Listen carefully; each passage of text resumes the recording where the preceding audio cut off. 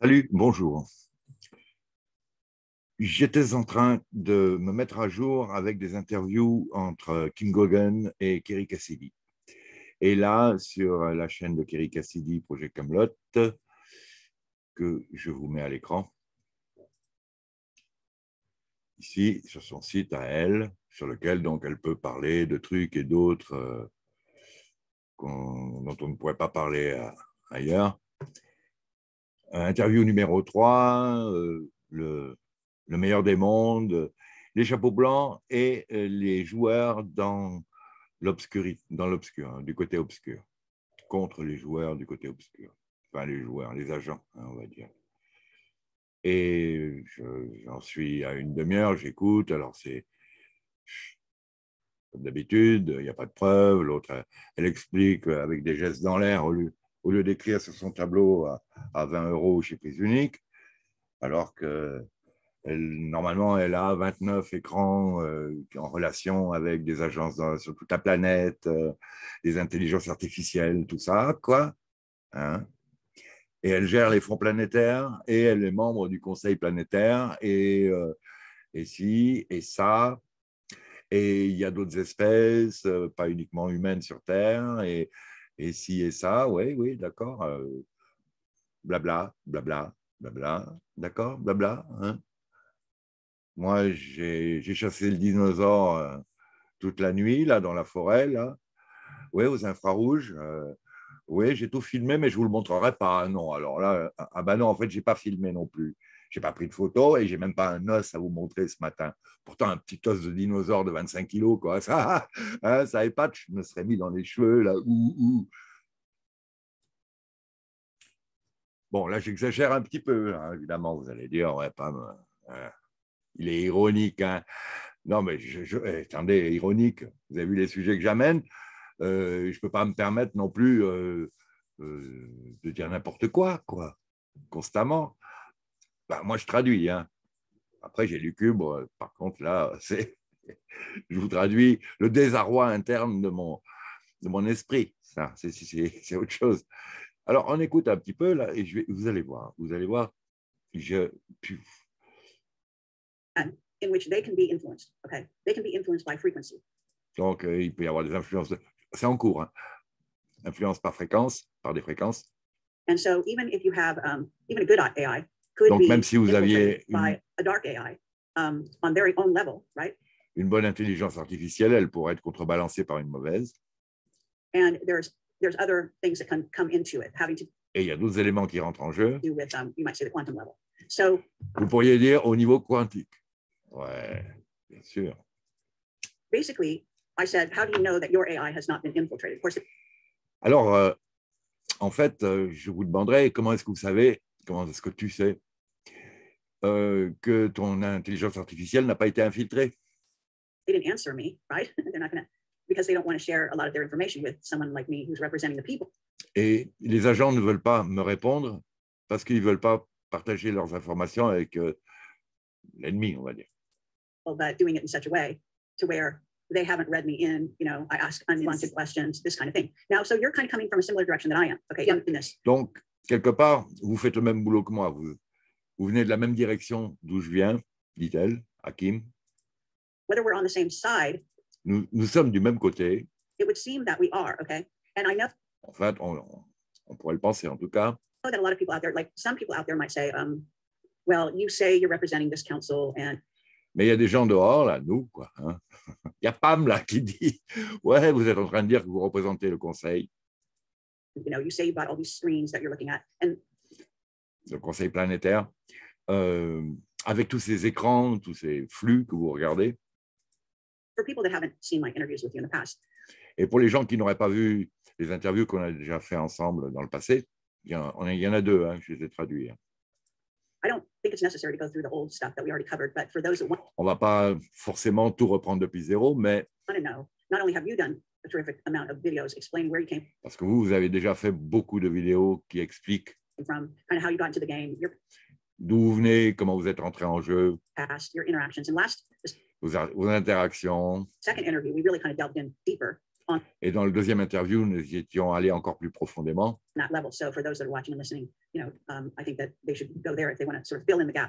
Et puis ceux qui veulent remplir les trous, ils ont qu'à se taper les interviews, dit-elle. Enfin, c'est moi qui, qui le traduis un petit peu plus cinglant.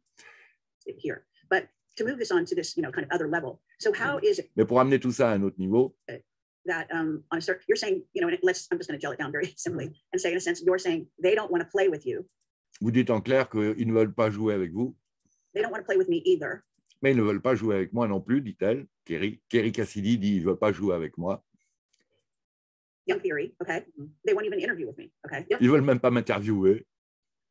T'en fais pas, euh, en quart. T'en fais pas, Kerry, tu t'en charges bien toute seule. Tu t'auto-interviews. Tu fais, des mises à jour constantes. Euh, et quand de toute façon tu interviews quelqu'un, tu parles que de toi. Mais c'est pas tout.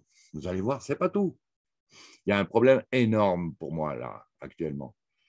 Il se passe un truc avec elle. Euh, à, une époque, elle était vraiment plutôt euh, intervieweuse, journaliste. Elle posait des questions, ne parlait pas d'elle, quoi. Mais maintenant, maintenant, c'est hallucinant. I mean, for the most part, as far as I know, and you know, unless someone was like, you know. Um, Parce que pareil, elle est journaliste là, mais nous, on l'a pas élue pour être la porte-parole du mouvement populaire. tout, le monde monte un mouvement populaire et tout le monde s'en érige chef de file. Bah, euh, euh, la pamocratie, la pamonotie, comment on va appeler ça? Euh, oui, ouais, c'est un mouvement populaire maintenant. Et ben non, je ne suis pas le chef de. Non, il n'y a, pas de, a pas de chef. C'est sûr que ça se passe chez moi, mais euh, euh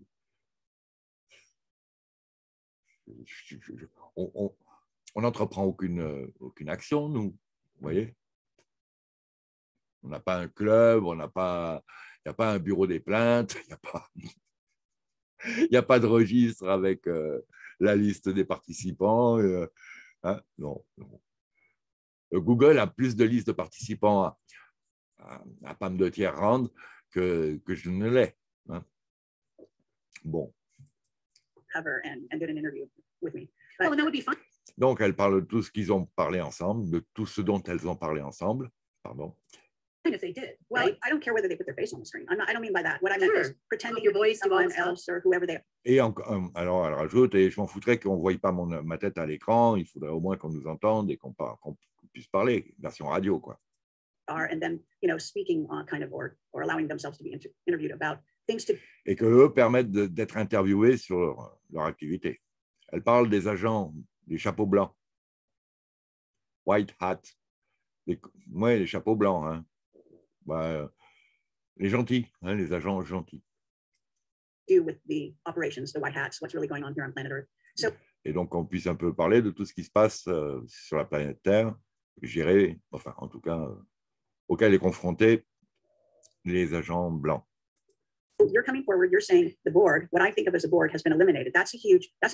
Et quand vous parlez d'un d'un groupe qui a été éliminé, c'est quand même une insertion euh, importante. So right. a lot of people watching and listening are going to think, but this Et beaucoup de gens qui regardent ou écoutent battle that we're seeing is on pensent que toutes ces, ces batailles que l'on voit, ben, que l'on voit, que l'on voit pas en fait. Hein. Et hop, ça y est, j'ai trop cliqué, euh, j'ai perdu le son. Bon, rien, de 5 secondes seeing is ongoing. You know, it's yes. et qui sont en cours. In our face and ongoing. And for God's sake, I mean, they still have some limitation on travel, and they. Et pourtant, les gens, ont, et Dieu sait bien qu'on a encore, nous, le public, là, des limitations dans nos voyages, nos déplacements. Still want to test people, and. Qu'ils veulent encore euh, tester les gens. They still are doing, you know, now Putin's uncovering, you know, there's at least 30 uh, bioweapons labs. Et là, elle change. Elle dit, oui, mais bon, il y a Poutine quand même qui a dévoilé la présence de 30 euh, labos, euh, biolabos, biolabs en Ukraine. Labs in uh, Ukraine that he's basically going in and so supposedly exposing. I have my own theories on that. Having Et qui soi-disant va en parler? Ben, c'est pas soi-disant qu'il va en parler. Euh, il en a parlé, Lavrov en a parlé, me semble-t-il. Et du côté américain, la responsable, euh, bah, l'ex-diplomate qui maintenant est en charge euh, des affaires étrangères aux États-Unis, celle qui depuis 2005-2014 euh, trempe jusque-là dans l'état profond ukrainien. Pas tellement profond que ça d'ailleurs, hein, puisque ces, agents sont, sont élus. Hein. Hum, hum. Et elle, euh, Kerry, là, nous dit euh, Mais moi, j'ai ma version de ce qui se passe avec ces labos qui communiquent entre eux grâce au train maglev, euh, train euh, magnétique à suspension magnétique. Là. Et qui déplace les, les trucs. ce qu'il y a dans les biolabs, il les vire, quoi, il les déplace. Donc, vous voyez, vous voyez le genre de phrase, hein, avec le nombre de, d'éléments pris dans tous les sens qu'elle qu'elle relie entre eux, à sa manière. Hein. Je ne dis pas que je, je soutiens cette façon-là de faire. Hein.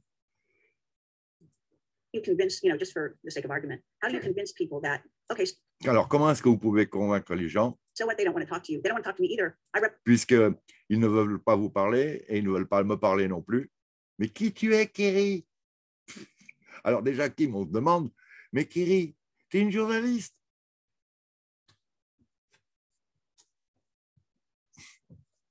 Et en plus, une journaliste que, comme je vais critiquer, tu pourrais bien imaginer qu'eux non plus ne veulent pas te parler parce que, mais enfin, euh,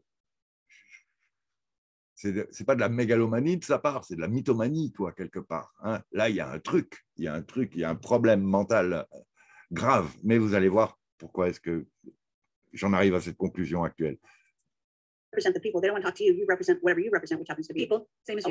Alors, parce que vous représentez qui? Alors, qui me dit le peuple? Hopefully, and then also this Earth Council that you believe you're. Donc, elle, euh, Kerry dit, moi aussi.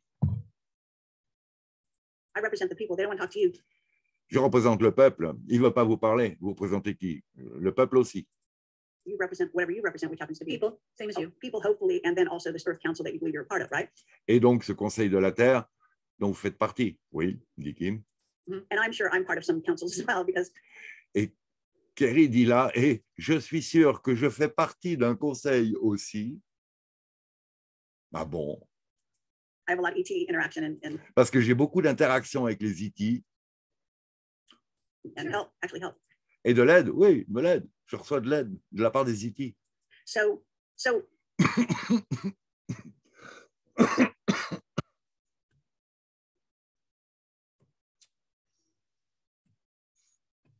Je suis sûr que je fais partie, d'un conseil. Je suis sûr que je fais partie d'un conseil. Parce que j'ai des interactions avec les IT. Et j'en reçois de l'aide.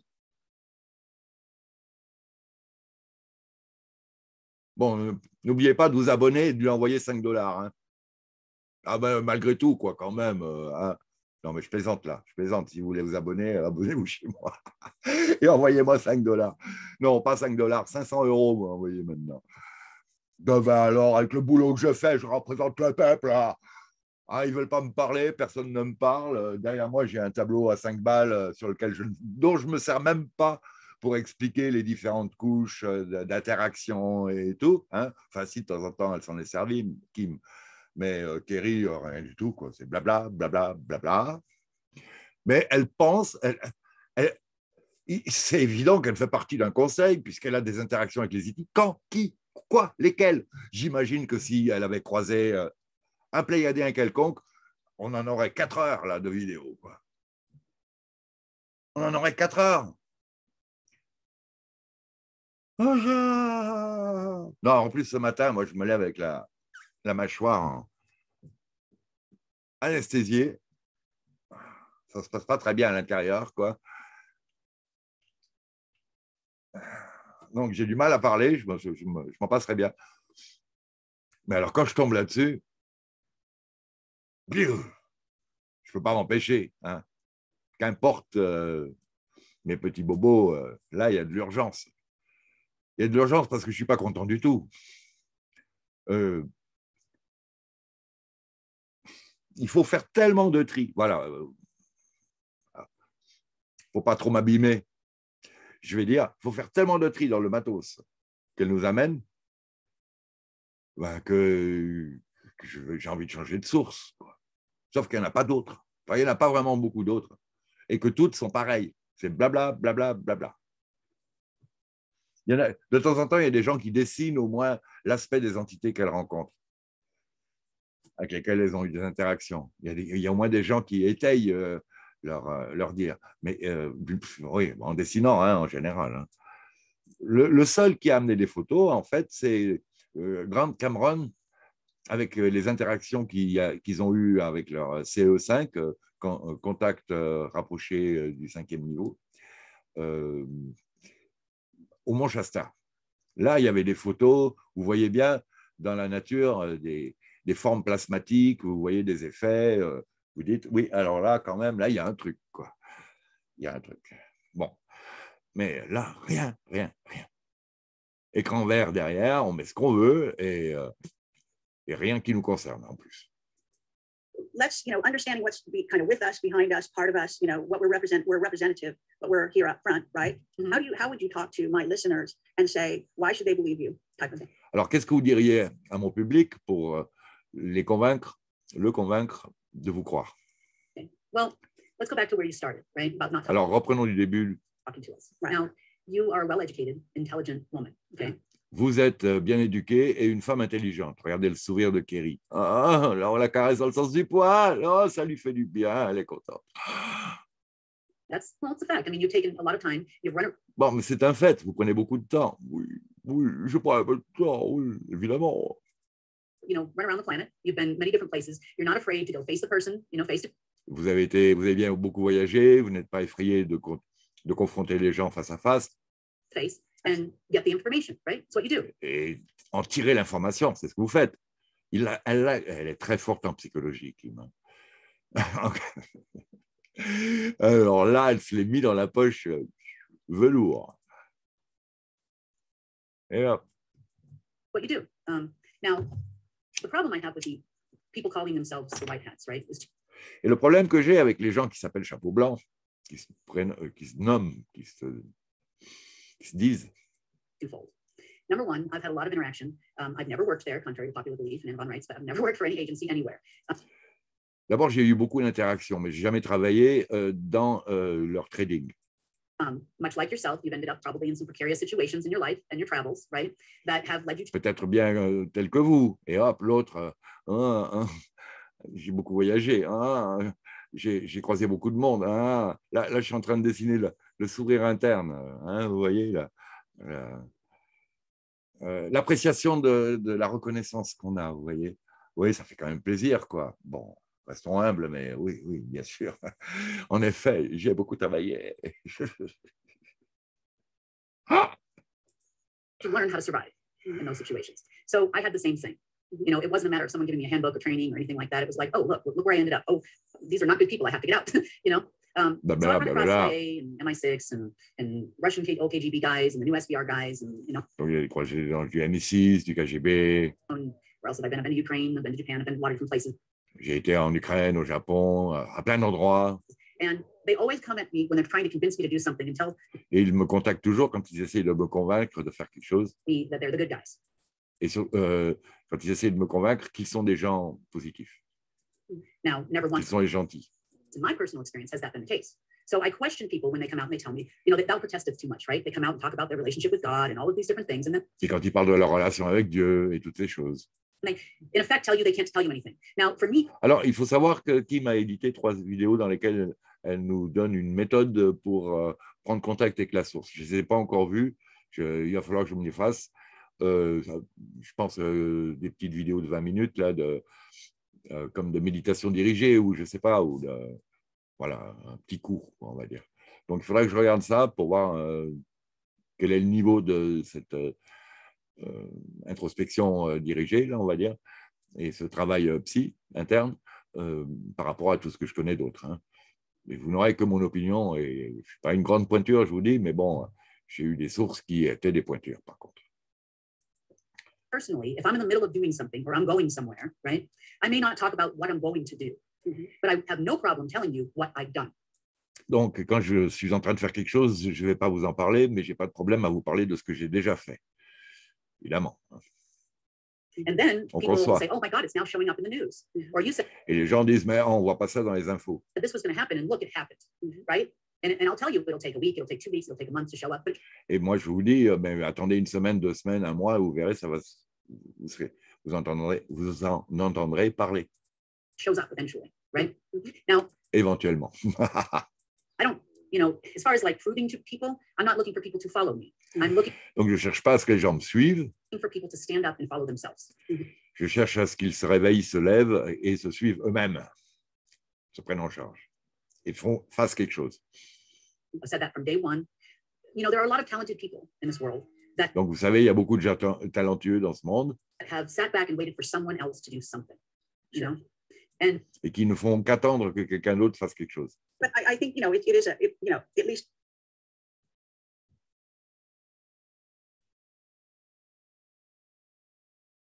Mais le, prix de l'huile d'olive est en ce moment à 6,85, alors que le tournesol, lui, euh, monte euh, de plus en plus, vous savez.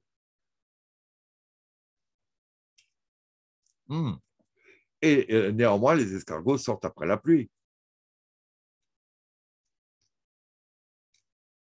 Vous savez que la fumée, c'est des particules solides en suspension dans l'air.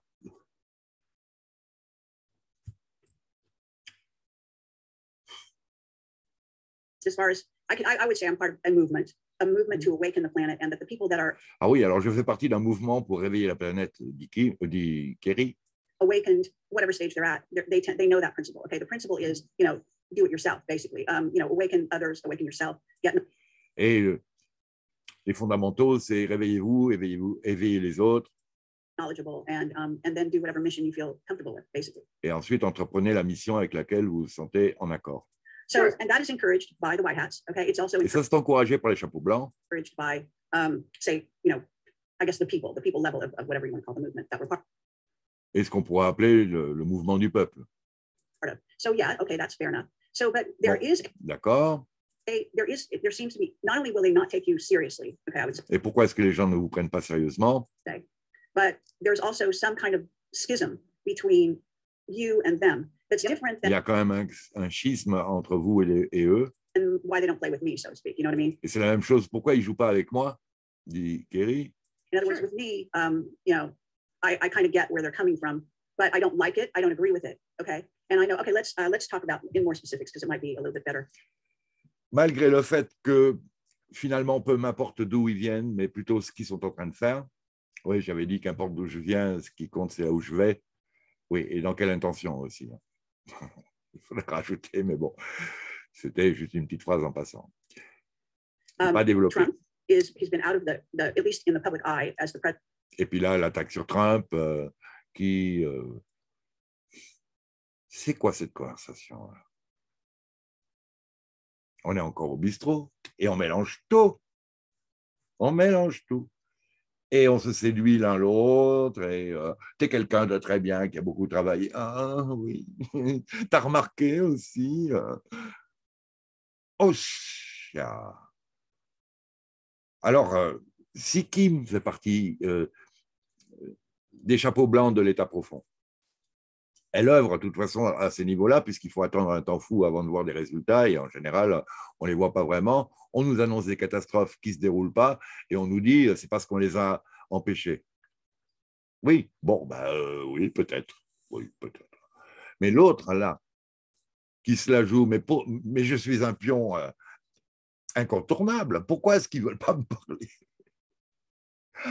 Ah, mais ça me pète. Oh bon, elle a 200 000 abonnés quand même, hein, ou 300 000, hein, c'est bien. Bon, ben, Linda Moltonou aussi. Hein. Et euh, Secure Team 10, 2 millions. Hein.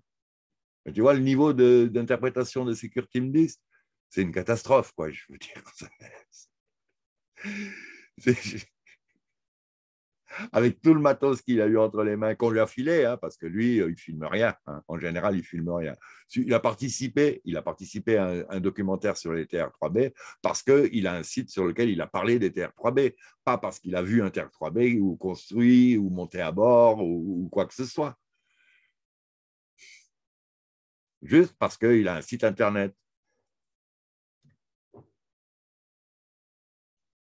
Je veux dire, suis pas jaloux. On aurait pu me demander à moi aussi, quoi. Sauf que si on me demande à moi, je vais poser tellement de questions et euh, mettre tellement en, en, doute, finalement, ces assertions sans preuve, que ça ne va pas être une interview agréable pour eux. Je vais finir comme maintenant, là, en train de râler, en train de dire, mais c'est du blabla, quoi, les gars, là. Vous prenez des places que vous n'occupez pas dans la, dans la vraie vie. Donc, euh, je ne sais pas si je vais euh, enfin, continuer très loin toute cette interview, là. Mais bon, on va voir, on va voir. Hein.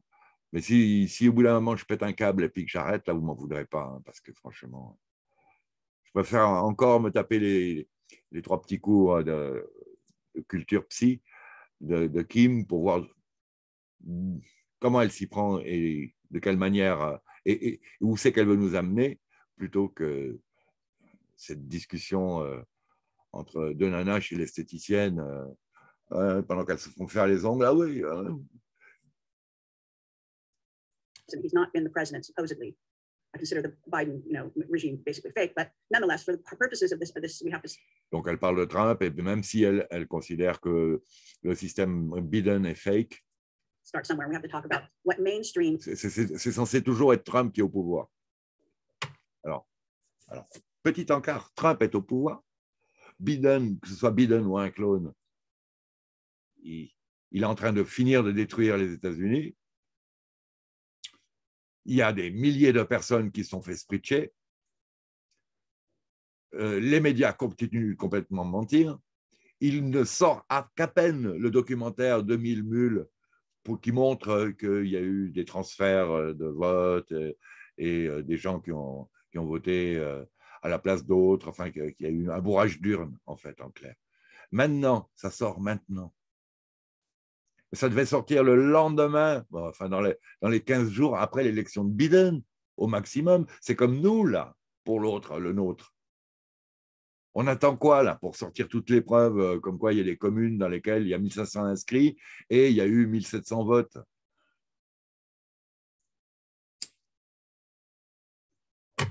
Qu'est-ce que c'est que cette affaire? On attend quoi là? Parce que l'autre, il a élu, euh, il, a, il, a nommé comme Premier ministre celle qui a suspendu le personnel qui ne s'est pas fait spritcher.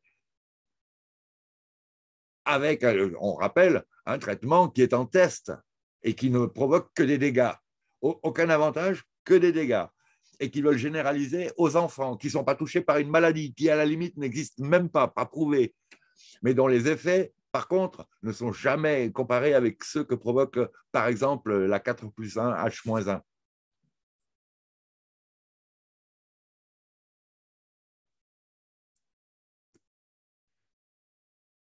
Non, mais ça suffit quoi, là? On va où?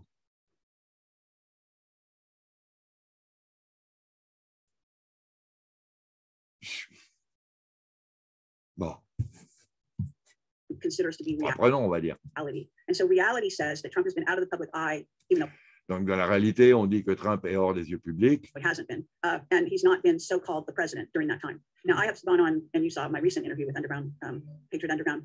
Uh, Mais vous avez vu mes dernières interviews avec uh, le groupe uh, Patriot Underground. Uh, so that's great because we're more or less you. Underground, ça veut dire souterrain, hein, ça veut dire les patriotes euh, cachés, on va dire. Le maquis, quoi maybe on the same page here. And so Trump has, you know, many times said, Donc on est sûrement sur la même page là. Okay, why doesn't he talk to alternative journalists? Why? Pourquoi est-ce que Trump ne parle pas aux journalistes alternatifs? Ben Parce que 90% des médias alternatifs sont de la résistance contrôlée, sont du pipeau, sont de, sont de la daube, sont des gens qui surfent pour faire le buzz. Voilà pourquoi. Parce qu'ils mélangent tout. Parce que, comme d'habitude, on continue d'élucubrer sur des sujets dont on parle tellement longtemps, mais sans jamais aucune preuve réelle, en général, que maintenant, c'est comme si c'était si les preuves avaient été acquises. Mais non, toujours pas. Toujours pas. Mais euh, et en plus, il y a des gens qui parlent là de trucs secrets. Ils sont vivants, ils sont dehors. Et si, si je suis l'État profond, si je suis la Breakaway Society, qui a sa propre police secrète, ses propres renseignements, euh, services de renseignement secret, sa propre armée quasiment secrète, ses, propres TR3B est mieux, hein, parce que TR3B, c'est 1985. 90, 95. Ben Rich disait on a de quoi ramener E.T. à la maison. 95. Mais je veux dire, c'est il y a 30 ans. Maï, 28, excusez-moi. They only operate in the system, which we know is a fake system, which basically is. You can Et qui bosse dans un système dont on sait qu'il est fake. And it's the remnant of the board um, that they actually operate within, and they don't go outside those parameters. Now, recently, he did a, a very well attended uh, interview with the Melk brothers, who. I Mais dernièrement, il a fait une interview très attendue avec euh, les frères Melk. consider, you know, I don't, I don't know who they are, but I'm assuming because I don't know who they are, they're not that alternative. So they're more sliding towards the mainstream. I consider Joe Rogan to et blablabla. Bla, bla. Je pense qu'ils sont dans l'alternative, mais Joe Rogan mainstream. Uh, yeah. est plus mainstream. I don't consider him to be alternative. So when Lui, uh, Joe Rogan n'est pas de la média alternative.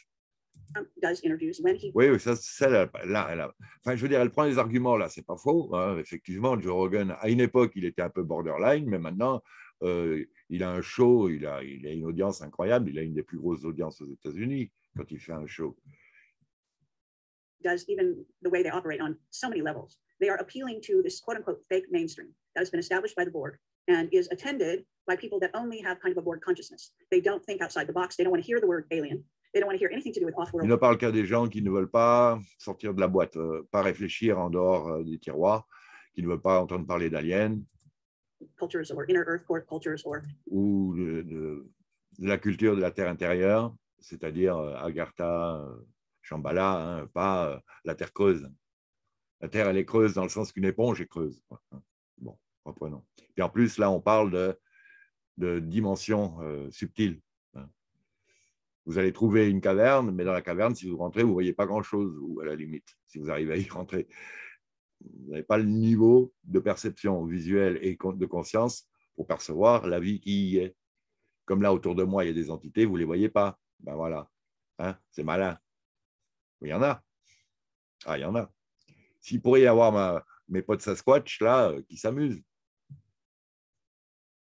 il pourrait faire des trucs rigolos de temps en temps. Il pourrait prendre euh, mon briquet et puis le faire se balader comme ça dans l'air. Ça, ils savent faire ça. Il pourrait faire apparaître, euh, je sais pas, un œuf de Pâques dans la main, là, paf, en cristal. il paf, le virer et l'amener dans votre main, là, paf. Ils peuvent faire des trucs dans le genre. Ils pourraient émettre une telle euh, odeur que je ne les vois pas, mais il y a une odeur qui, et puis une, atmosphère d'oppression, si, si, je les gêne, vous voyez, ils savent interagir comme ça de manière euh, transdimensionnelle, on va dire. Mais euh, le, euh, on ne les voit pas. On les voit pas. Donc, c'était pour parler de la terre intérieure. Bon, reprenons. Or um, there's something else they don't want to hear. Uh, you know, they, they, just don't. Oh, they don't want to hear the word clone. Even though this is. Um, Donc, elle fait la liste un petit peu de tout son, le, tout ce dont ces gens-là qui participent à, aux médias alternatifs tout en étant quasiment dans le mainstream maintenant ne veulent jamais entendre parler. Tous les sujets exopolitiques, exoconscience, etc. Bon, tout ce que je traite, hein, en fait. You know, around the world. And that's where I get my whistleblowers from, right? They work for the board or for the you know, deep state, whatever you want to call it, for some, in some cases, 40 years of their life. And then they come forward and they tell the truth. Non, mais si vous vous rappelez, hein, c'est une interview de Kim Gogan par Kerry Cassidy. Et c'est Kerry Cassidy qui parle, qui parle, qui parle, qui parle. Si j'avais plus de, de, capacité de manipulation de mon ordi, je mettrais un petit programme qui détermine combien de temps a parlé l'un et l'autre. Et euh, sur les deux heures et demie d'interview, je suis sûr que Kerry va parler pendant deux heures, à peu près allez, on va dire une heure trois quarts. Non, mais enfin, c'est toujours Kerry qui, qui, décrit le, le, paysage, si on peut dire, la situation telle qu'elle la voit, telle qu'elle la conçoit, et blabla, blabla, blabla. Hein. Il n'y a pas une preuve, pas une photo, pas une vidéo, pas un écrit, pas un témoin. Il y a qu'elle qui parle. Et puis alors maintenant, elle pense assurément, elle fait partie d'un conseil puisqu'elle a des contacts avec les IT. Depuis quand elle a des contacts avec les IT et quand et où? Ça, ça, alors ça, j'en peux plus. Ça, j'en peux plus. euh, tel, qu'on tel que je vous l'ai décrit et tel qu'on la connaît, c'est évident qu'on aurait eu une semaine de, blabla et de mise à jour sur sa rencontre avec euh, les Iti. C'est évident. Elle n'aurait pas arrêté de parler pendant une semaine, j'en suis sûr. C'est tellement évident. Parce que quand ça vous arrive, bah, si vous vous en rappelez, c'est vraiment euh, submergent par rapport à tout le reste. Quoi. Voilà pourquoi je pense ça. Et c'est très important, normalement. Sometimes it's not for their whole life, the rest of their life. Sometimes they, they have lost, like in the case of Bob Dean, um, a daughter. In the case of Clifford Stone, a, a son. Voilà, elle raconte sa vie. Là. Comme elle a connu euh, Bob Dean, euh, Clifford Stone, et que ces gens-là, en communiquant avec elle, sont, sont un peu sortis, ils ont un peu rompu l'accord de non-divulgation qu'ils ont signé, enfin, ils ont, ils ont enfreint euh, leur, les obligations qu'implique euh, leur niveau de crédulité, sécurité, là, le niveau de sécurité, service secret, euh, top secret. Vous n'avez pas le droit de parler. Quand vous êtes soumis au secret professionnel, vous n'avez pas le droit de parler de ce qui s'est passé dans votre profession. Quand j'étais kiné, je ne pouvais pas parler des dossiers des patients avec euh, quelqu'un d'autre que le mm, toubib traitant du, du, patient. Même un autre toubib qui ne connaissait pas mon patient n'avait pas à connaître son dossier. Et j'en parlais pas avec les collègues. Si j'en parlais, c'était pour avoir des conseils techniques, mais ils ne connaissaient pas le nom de mon patient. Il y a un secret professionnel. On a une déontologie qu'on respecte euh, normalement. Hein. C'est-à-dire que c'était avant euh, ce nouveau monde où l'État commence à gérer votre santé. Quoi. Hein, en disant que des conneries en plus, et en empêchant les professionnels d'œuvrer.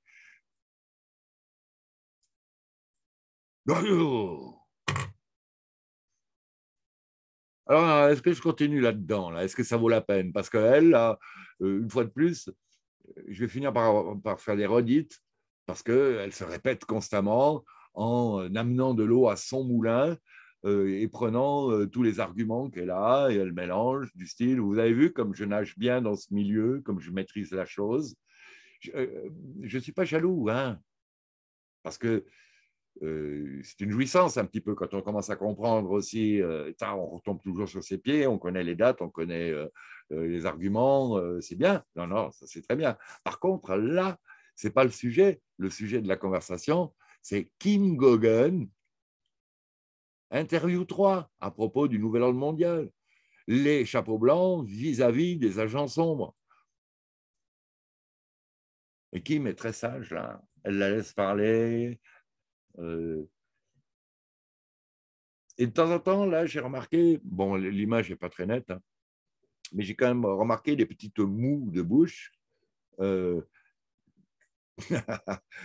quand, quand euh, c'est des mots d'appréciation d'un sujet qu'elle aime bien ne pas voir développé ou qu'elle est contente que Kerry ait déjà cette position-là. Comme ça, ça sert à ses dessins à elle. Elle n'a pas besoin de, se justifier. Ça m'embête énormément parce que je ne veux pas vous amener du matos de daube. Et là, on n'avance pas et au contraire, on a de plus en plus de doutes sur la valeur des témoignages qu'elle nous propose, l'une et l'autre. Donc j'ai perdu un temps fou, vous avez perdu un temps fou, euh, et je ne suis même pas sûr que les arguments qui ont été développés à un certain niveau soient valables. J'ai confiance dans euh, ce qu'ont dit les témoins qui ont été interviewés, les bases souterraines, euh, euh, l'interaction avec les IT, euh, ça oui. Mais ce n'est pas parce que ça, ça vaut le coup qu'aujourd'hui, là, ça, ça peut servir d'argument pour confirmer ce qu'elles sont en train de discuter à propos de ce qui se passe aujourd'hui. Les chapeaux blancs gagnent et, euh, les enfants de 5 à 11 ans vont devoir y aller. Non, mais ça ne va pas, non où tu vois que les chapeaux blancs ont gagné quoi que ce soit.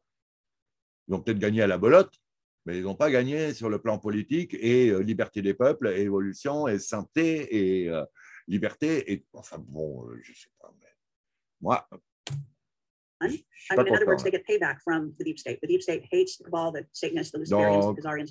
If you're part of their team and you defect to the other side, they have a special way of paying you back for that. Okay? Voilà, donc euh, l'État profond nous traite de telle manière, euh, si vous vous comportez de telle manière. And they don't always just outright kill you. Okay, that's not always how they operate. Parfois, ils vous tuent. So with that kind of ou parfois, ils tuent des membres de votre famille. Putting context here, that's a little more. C'est ce que je reproche à Kerry Cassidy aussi. Il y a plusieurs de ces témoins qui ont eu de gros, gros problèmes par la suite. Elle veut toujours leur tirer les verres du nez. Après, elle est toute fière de leur avoir tiré les verres du nez. Et en tirant les verres du nez, elle a mis en danger la sécurité du témoin. Et alors, euh, elle s'en fout. Elle a édité sa vidéo. Peut-être qu'elle a touché des thunes en plus par les gens qui, qui, versent des thunes. Euh, nous, quoi. Euh, mais le public, je veux dire. Mais la, vie du la vie du patient, enfin voilà. la vie du témoin, oh, c'est triste, mais c'est la vie, quoi. Oh. Mais j'ai fait mon boulot, je lui ai tiré les verres du nez. Bah oui, tu l'as fait, sortir de, son serment de non-divulgation sur certains sujets qui, qui l'ont mis en danger, euh, voire euh, qui ont tué sa fille, du coup, par rétorsion. Non, mais c'est putain de grave, quoi. Moi, j'aurais arrêté. Tu vois si, je fais ça, si je suis à sa place et qu'un jour j'interviewe quelqu'un et qu'à cause de cette interview, il meurt, ou sa femme meurt, ou sa fille meurt, ça, me, coupe les jambes, quoi. Ça me, ça me fond le cœur, ça me coupe les jambes et j'ai honte et, je ne sais pas comment réparer le truc.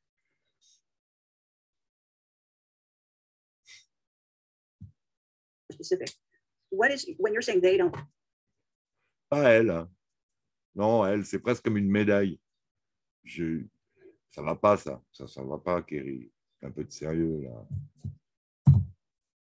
Talk to you. I think in our prior interviews, one, especially I think the first one, you did say you had some conversations with Trump, right? Yes, on the diplomatic line when he was in the Bon, euh, et là, elle revient sur les contacts que Kim aurait eu avec Trump euh, sur une ligne diplomatique. Yeah. Okay. And sure. so what and, I found now it's mainly through family members. Yeah. All right. Now, what I found fascinating about when he came out from under the you know helm of the so-called presidency, it was the you know in the eyes of the public. Yeah, out of the house. He, he changed his way of operating? He didn't start talking to people that he'd never talked to. Bon, allez, il y en a marre. Euh, qu'est-ce qu'on en a à foutre là de, de, ce, de ces références à, à ce qu'elle a déjà dit dans la première interview avec Kim euh, et cette situation de contact avec euh, Trump dont on n'a pas de preuves. Mais bon, euh, Kim, là, elle, a, rajouté trois précisions. Euh, oui, avec Trump ou des membres de sa famille ou un truc dans le genre, des membres du, club. Euh, là, ça, ça, me laisserait penser que cette situation dont elle a parlé, elle est bien claire pour elle. Alors, je n'ai pas regardé son regard si elle était en train d'inventer ou de confirmer, mais le fait, les arguments qu'elle a sortis me paraissent euh, euh, comme c'est des détails sur cette conversation, soi-disant par ligne diplomatique avec Trump. Ça, ça fait partie de tout le scénario monté dont elle parle et à chaque fois, tac, tac, tac, elle reparle aussi des petits trucs qui sont, c'est des confirmations quelque part, quoi, hein, au niveau psy, psychologique. Euh, bon, Bon, mais là, euh, là j'arrête là. Hein. Euh, je réécouterai, j'écouterai plus loin cette vidéo, je suis en train de la télécharger. Euh, pas là-dessus, hein, parce que là-dessus, on ne peut pas télécharger. Hein. Enregistrer la vidéo, non, le lecteur ne le permet pas. Donc, je l'ai retrouvée, elle date du 15 mars en plus. Du 15 mars. Et c'était il y a deux mois. Ben, ça sort aujourd'hui. il me semble. Hein. Il me semble. Par exemple, le prochain article chez elle, là, on va y aller pour voir la date. Ah oui, hein. tout ce qui est en dessous, en tout cas, c'est daté de hier avant-hier. 16 mars. Non, non, c'est un vieil interview. Bon, ben, je n'étais pas au courant qu'ils avaient fait une troisième interview. Et, c'est moi qui ai pensé qu'elle venait d'être mise en ligne, alors qu'en fait, elle date. Bon. OK. donc, au moins, l'intérêt de mon intervention de ce matin, c'est que euh, on a appris que Kerry devait faire partie d'un conseil puisqu'elle est en contact avec des IT et qu'elle reçoit de l'aide en plus. Elle ne sait même pas si elle fait partie d'un conseil. Ah, enfin, si vous faites partie d'un conseil d'administration quelconque ou quoi que ce soit, d'un club particulier, vous le savez. vous en êtes sûr, vous en avez des preuves même en général. Mais enfin bon, c'est pas possible. Comme l'autre, elle fait partie d'un conseil, Kerry doit faire partie d'un conseil. C'est une maladie mentale. C'est une maladie mentale. Moi, j'ai connu des gens comme ça. Si vous parlez de vos vacances à tel endroit, eux aussi, immédiatement, ils vous coupent la parole pour parler de leurs vacances à tel endroit. Attends, mais on t'a pas, on pas c'est la parole. C'est moi que. Je discute avec mon pote de mes vacances. Toi, tu es obligé de nous couper la parole pour parler de tes vacances à tel endroit aussi. Attends, attends qu'on en parle. Attends qu'on te demande. Laisse-moi finir. Enfin, vous voyez il y a un problème. De, c'est un manque de reconnaissance. C'est le, besoin de se faire reconnaître. Et euh, il y a une partie de mythomanie, euh, les gens peuvent dire n'importe quoi pour, être, pour avoir le même niveau, parce que sinon, ils font un complexe d'infériorité. Si vous n'avez pas vécu la même chose que l'autre, ah, il vous manque des choses. Mais quelle importance, vous n'avez pas vécu la même chose, mais vous avez vécu d'autres trucs. Et puis c'est normal qu'il euh, y ait des différences dans les, il y a peut-être des endroits où tu as vécu plus de, choses que, tes interlocuteurs. Il y, a, des gens qui sont constamment en compétition. Vous sortez un gag, ils ne peuvent pas s'empêcher d'essayer de ressortir un gag immédiatement après. Même si ça n'a aucun rapport, même si la vanne est mauvaise, il faut qu'ils sortent un gag.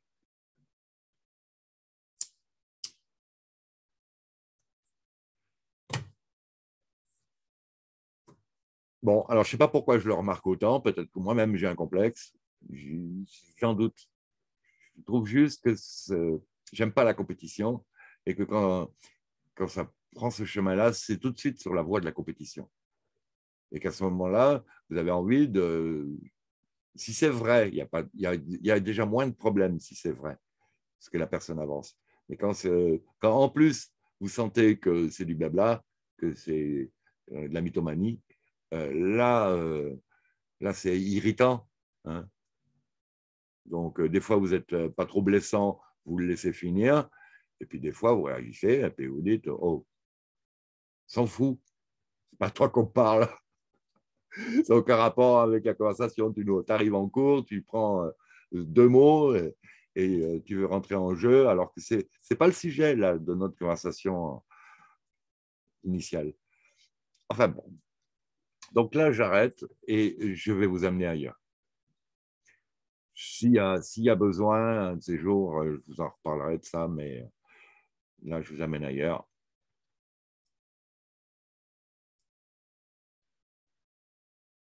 Alors voilà, sur, quoi je vais vous amener, c'est euh, un extrait euh, d'une interview d'Al Bilek. Et Al Bilek, ben écoutez, en fait, euh, je vais mettre en ligne deux vidéos aujourd'hui, celle-ci actuellement directe et celle que j'ai faite euh, hier soir, qui traitait d'une introduction à Albilek, quelque part. Alors, elle est un peu longue, elle dure deux heures et quelques, je crois, deux heures vingt, il me semble.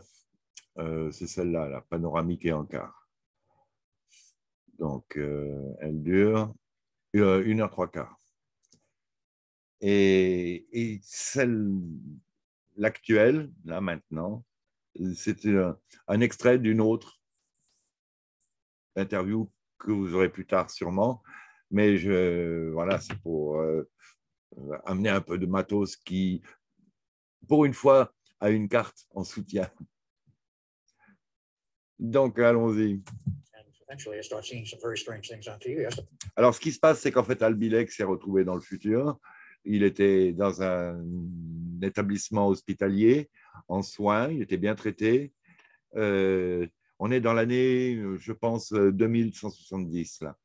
Et il voit sur le mur une carte des États-Unis et il trouve quand même qu'il y a des sacrés changements. Il voit aussi l'Europe tout à fait différemment et il commence à poser des questions. Donc, il voit qu'il y a des changements là et donc il en vient à poser des questions bah, au personnel de l'hôpital, quoi, aux infirmières, aux toubibs, aux gens, quoi, hein, a priori.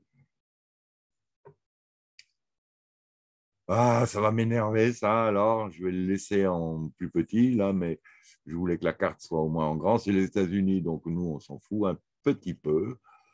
Euh, ce qui est intéressant, c'est qu'on arrive bien à lire et qu'on arrive à voir que c'est une projection des aires de destruction par l'eau au courant entre 2020 et 2025. Lui, il dit 2025. Et ça s'est passé en, deux fois. Euh, donc, euh, il y a eu une première attaque, euh, et, une première attaque, une première submersion, on va dire. Alors, j'ai du mal à lire, j'ai pris en HD, mais malgré tout, donc c'est en toute lucidité, quoi. Ben, le plus extérieur en premier, et puis le deuxième, plus ça se restreint, c'est dû à des couches successives, si on veut dire, à des atteintes successives. Donc, il a commencé à poser des questions.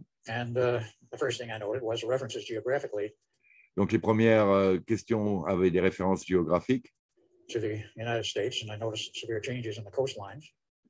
Sur les États-Unis, parce qu'il avait remarqué de grands changements sur les lignes euh, côtières, sur les côtes. Uh, Et à l'intérieur. Et euh, aussi le fait que l'Europe ne ressemblait plus du tout à ce dont je me rappelais d'elle, au niveau de la carte. Donc, il a commencé à poser des questions. Qu'est-ce qui s'est passé?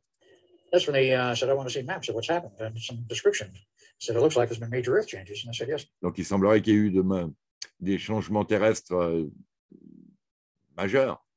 Alors, on lui dit oui.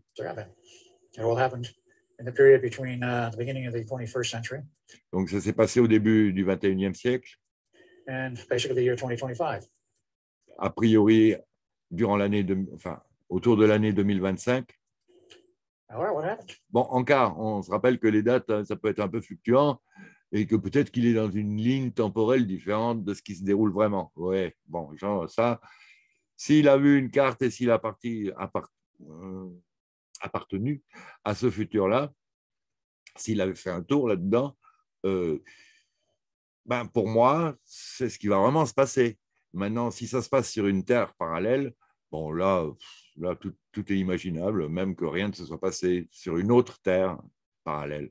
Mais donc là, pour moi, c'est a priori ce qui se passe. Voilà. Je vous, le, je vous le livre comme ça. Donc, ils lui ont montré une carte. To describe it briefly, uh, the east coast of the United States was rather heavily changed, not as much. Et pour vous le décrire euh, rapidement, brièvement, les côtes des États-Unis ont été radicalement changées. Euh, d'abord la côte ouest. Donc, première, première atteinte de la côte ouest, euh, ben c'est les parties qui sont marquées de traits allongés, de petits traits allongés comme ça. Et deuxièmement, c'est les, parties qui sont marquées de petits points. Donc euh, là, d'abord, ben, la Californie glouglou, euh, euh, au-dessus aussi, là, cette partie, je ne connais pas le nom de cet État des États-Unis, là.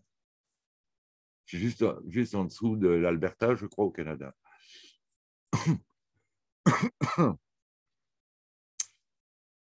Et ben, de l'autre côté, toute la Floride, sur, on va dire, 200 km à peu près, je suppose, toute la côte est, et aussi une, euh, la, création d'un pont à, queue, enfin d'une entrée des eaux euh, jusqu'au Grand Lac, à peu près. Donc, euh, toute la bordure côtière aussi du golfe du Mexique, bah, avec la, la Floride. Quoi. Tout ça, glou-glou. very far out maps promulgated in the late 20th century by various people such as the America Group and uh, Michael Gordon Scallion and his series of maps. They were what I would consider the worst case possible scenario, and it didn't happen that way. But what I did see what. Et donc, euh, j'étais confronté à ce que je pourrais appeler le pire scénario.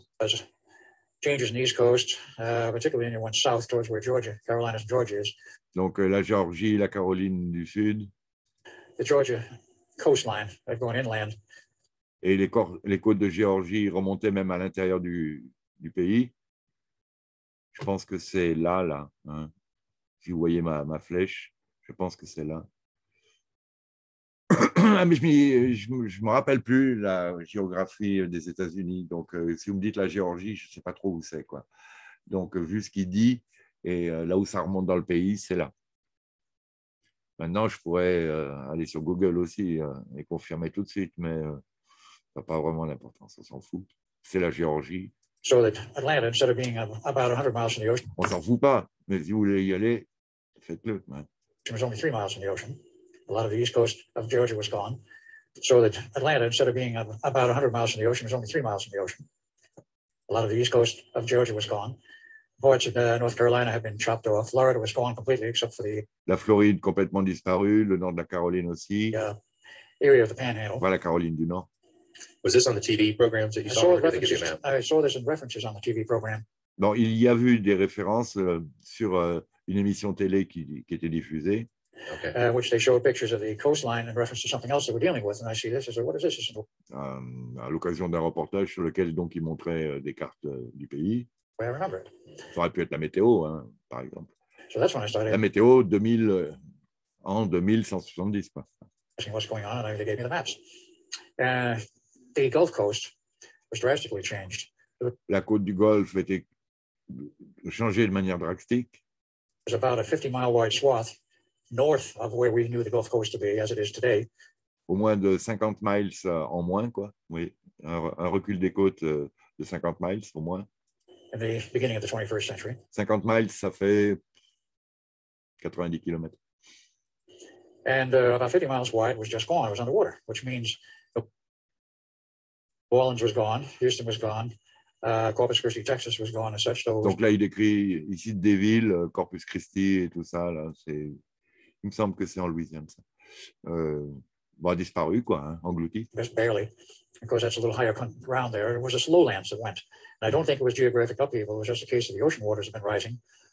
Uh, plus, uh, il ne sait pas si c'est la terre qui s'est effondrée ou, mais plutôt l'océan qui est monté. Changes, and the big change. Il doit y avoir des deux. Finalement, le Mississippi est devenu carrément un bras de mer. All the way up to the Great Lakes, which then became one, en remontant jusqu'au Grand Lac. One lake. Uh, part of the original lakes disappeared, and other parts uh, sank, so that you had one large lake. Alors, euh, Mississippi River, euh, la, la, rivière Mississippi faisait plus de 50 miles euh, de largeur donc 90 km de largeur, la rivière du Mississippi, qui doit être par là, là donc. Which joined with the St. Lawrence Seaway, which became a very large seaway. C'est devenu un bras de mer, quoi, hein, un passage maritime. And the, west, the rest of the U.S., the western part, to the other side of the new Mississippi Basin, if you will, was all there essentially intact, with the exception of California and parts of. Bon, tout le reste de l'Ouest était intact, à, à part la Californie. Oregon and small parts of Washington et une petite part de l'État de Washington. California suffered from where the Donc pas Washington DC, hein, qui est de l'autre côté. San Andreas Fault came in land. San Andreas Fault cuts into California. Donc la faille de Saint Andrea. Between San Francisco and San Jose, that's where it cuts in. Entre San Francisco et San Jose, San, San Jose. And it's no longer in the ocean, but it's cutting across land. It goes down basically central California, so that when you get past Los Angeles, it winds up cutting through the middle of the Salton Sea. And much of that section west of that fault line, of the San Andreas fault line, wound up in the ocean, not all of it. Sandy. Donc vous voyez là, ça a gardé une petite bande de terre, un petit isthme de terre là, qui descend encore. Mais euh, il s'est créé un golfe intérieur, jusqu'aux Rocheuses, hein. jusqu'à la chaîne de montagne. Une partie de la Californie du Sud était partie. What was where Los Angeles was, parts of it were still left. The coastal section. Une partie de Los Angeles restait. The beach country was gone. The beach areas were collapsed. The cliffs were collapsed. Toutes les parties de plage sont disparues. But areas of uh, the higher sections of Beverly Hills were still there. Le haut de Beverly Hills existait encore. Pasadena, Pasadena was still there. Pasadena aussi était là. Downtown uh, Los Angeles is still referred to as the island because it was on a rock? It was literally yeah, Los Angeles ressemble plus à une île. Island there, even now, though it's certainly not underwater, but it winds up. Ah oui, c'est possible que ça fasse une île, non pas un isthme là. Mais enfin, la carte, c'est la meilleure définition que j'ai pu trouver, mais euh, enfin, sur cette vidéo, il y en a d'autres. On en a, enfin, quand je m'y intéressais, j'étais tombé sur les cartes un petit peu meilleures. Avec l'Europe aussi. Alors en Europe, hein, je peux vous dire que, ben quoi, il reste un bout des Pyrénées, il reste un tout petit peu du Massif central. Là où je suis, on est à la limite de l'eau. Donc, les, euh, les, hauts plateaux du Tarn, on va dire. Je, Béziers, Glouglou, Montpellier, Glouglou, euh, toute, toute, la côte Glouglou. Euh, et ça remonte un petit peu sur la vallée du Rhône aussi. Donc c'est pour ça que je pense qu'il y a une montée du niveau des eaux quand même. Quelques îles en Bretagne. Oh, la région parisienne, tout ça, c'est sous l'eau. Toute l'Aquitaine sous l'eau. Et puis après, les Alpes, ça reste une partie des Alpes, ça. Le nord de l'Europe, Glouglou, la Hollande, le, nord de la Russie aussi, Glouglou, toute la, face arctique, Glouglou.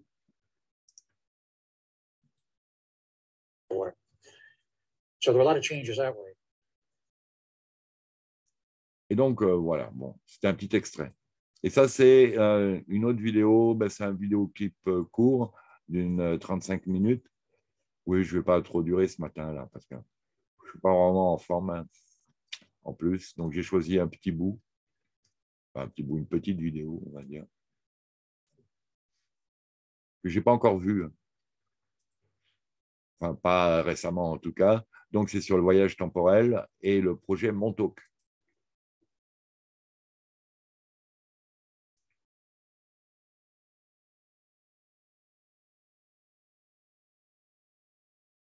Confrontant Marianne Crédit,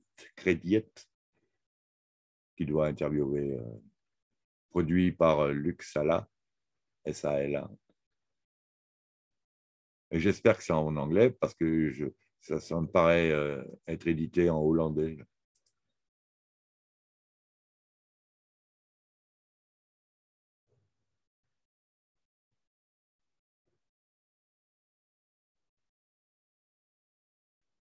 Bon, présentation, les bouquins,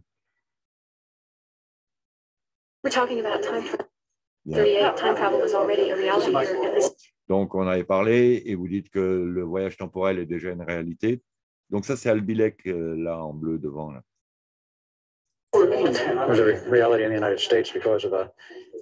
Donc, c'est une réalité aux États-Unis.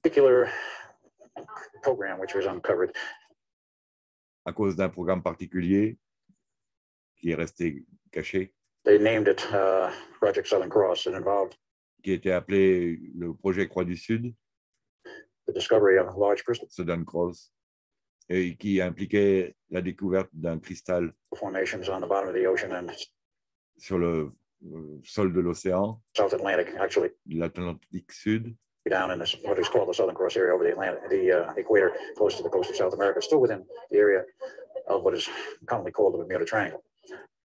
à peu près dans la zone du triangle des Bermudes. They discovered Navy ships discovered un navire de guerre a, a découvert large crystalline formation on the floor of the ocean. cette euh, formation cristalline sur le sol de l'océan. They decided to go exploring this thing and finding out what is it, what's it doing, and so Donc ils ont lancé des explorations. so on. How did it get there? It looked to be like a one-piece structure. Et ça ressemblait à une structure d'une seule pièce. Whether it's grown or not, I not the details, but Bon, je manque de détails. a modern naval ship, a warship, has, of course, many complex communications and control systems. Donc, un navire de guerre moderne a de multiples systèmes de communication et de, de sonar et de, de, capteurs de champs magnétiques et de champs auriques, d'aura. Single ship, a warship has, of course, many complex communications and control systems, magnetic fields, generator, RF fields, and so forth. Basically, what happened was exploring this thing, and all of a sudden the ship disappeared. It wasn't there anymore. Donc, il faisait cette exploration et soudain le vaisseau a disparu. It happened to be the USS Kearsarge, uh, just new. C'était l'USS Kittredge, Kittredge, pas l'Eldridge, hein, je crois pas qu'il ait dit ça. Hein. Generator, RF fields, and so forth. Basically, what happened was exploring this thing, and all of a sudden the ship disappeared. It wasn't there anymore. Donc, d'un coup, le vaisseau disparaît, il n'est plus là.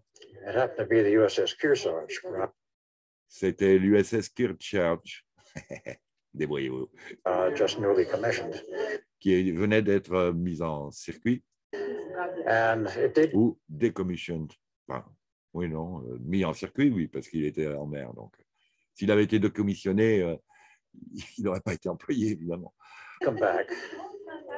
There's some varying stories on what happened. What I remember quand, reading in the record. Et quand il est revenu, il y avait de drôles d'histoires qu'il racontait. It came back after a period of time. Il est revenu après une période de temps donné. Not explained in those records how they found out what it. Et il n'a pas été expliqué dans ses écrits comment est-ce qu'ils ont trouvé. Comment ils sont partis ni comment ils sont revenus. Mais a priori, ils auraient activé une ancienne euh, formation cristalline Atlante.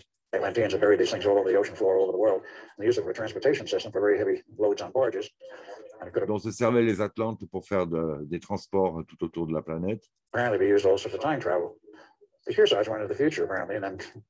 Et qui avait entraîné un voyage temporel. Donc, ça servait de système de transport pour les charges lourdes. Et ça pouvait aussi être utilisé pour le voyage temporel, a priori.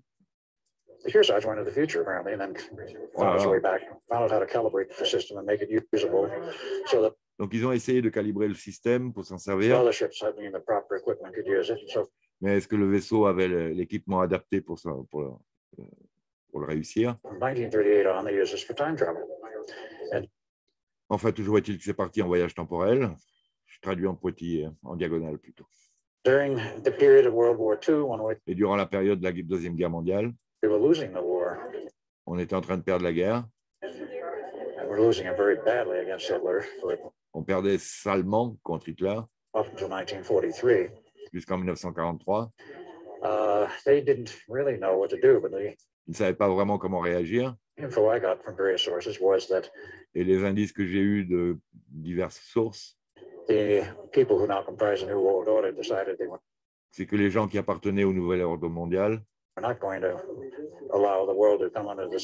n'allaient pas permettre au monde de suivre cette voie-là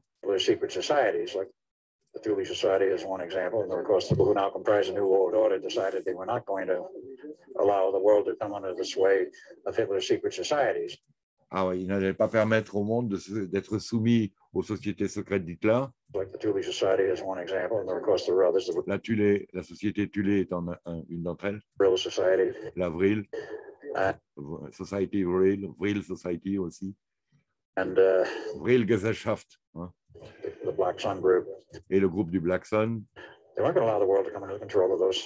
Donc, ils ne voulaient pas permettre au monde de passer sous la domination de ces trois sociétés, entre autres. Donc, ils ont fait beaucoup d'efforts, évidemment, pour gagner la guerre. Et tout ça a tourné autour de l'année 1943.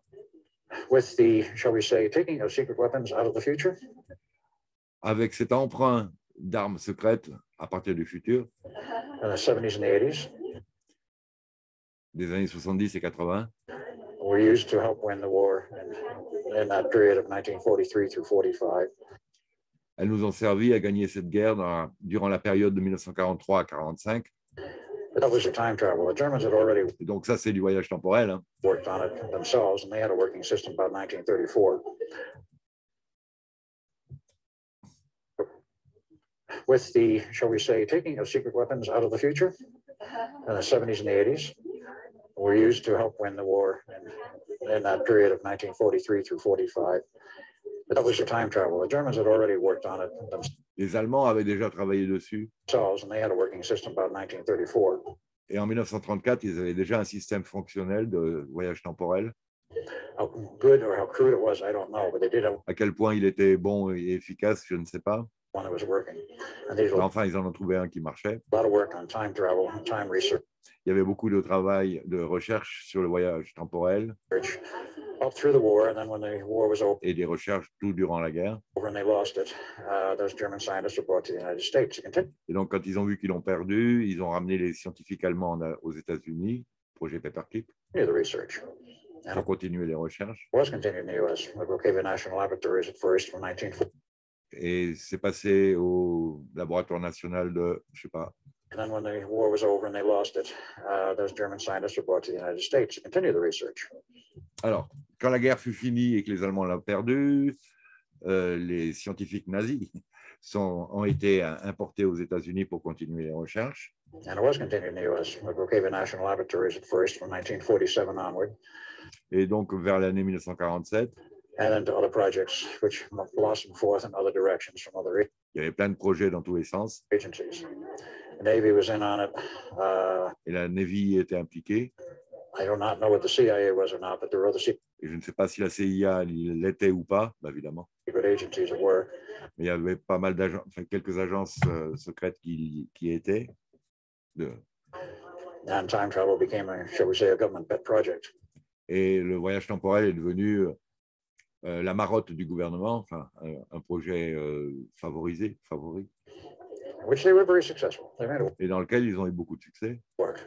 How did that differ from the time travel at Montauk? This is... Et quel est le rapport entre, enfin, oui, quel est le rapport entre le voyage temporel et, et Montauk? It's also space time travel. Ouais. Parce que là, il y a aussi euh, du voyage dans l'espace-temps. Right. Montauk was a different animal, so to speak. Ben, Montauk, c'était un petit peu différent. But let's put it this way. Rick, Disons que. Time travel ordinary time travel means that if dans le voyage temporel euh, ordinaire. For example, you had the equipment to move me in time, sitting here in the chair. Donc, par exemple, vous avez un équipement qui me permet de, qui vous, vous permet de me déplacer dans le temps. Là, je suis assis sur une chaise. Vous me ramenez un an dans le passé. Ou dans le futur. Et je vais y arriver en étant assis sur la même chaise là. Euh, au même endroit. Peut-être qu'il n'y aura plus les tables autour. Mais globalement, euh, l'immeuble sera là. Je serai physiquement au même endroit. Et si vous me renvoyez à 100 ans en arrière, peut-être qu'il n'y aurait plus l'immeuble. Mais physiquement, je serai dans, au même endroit.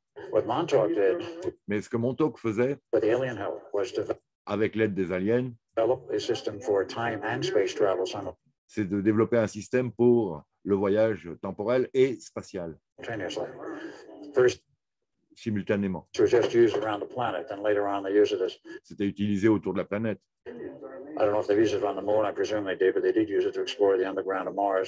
Je ne sais pas vraiment, mais je crois qu'ils s'en sont servis pour, pour visiter les souterrains de Mars. Quand ils ont appris qu'il y avait des restes d'anciennes civilisations. Et dans les souterrains de Mars, dans le sous-sol de Mars. Donc à Montauk, ils ont fait euh, des expériences, euh, enfin des, des expéditions, on va dire.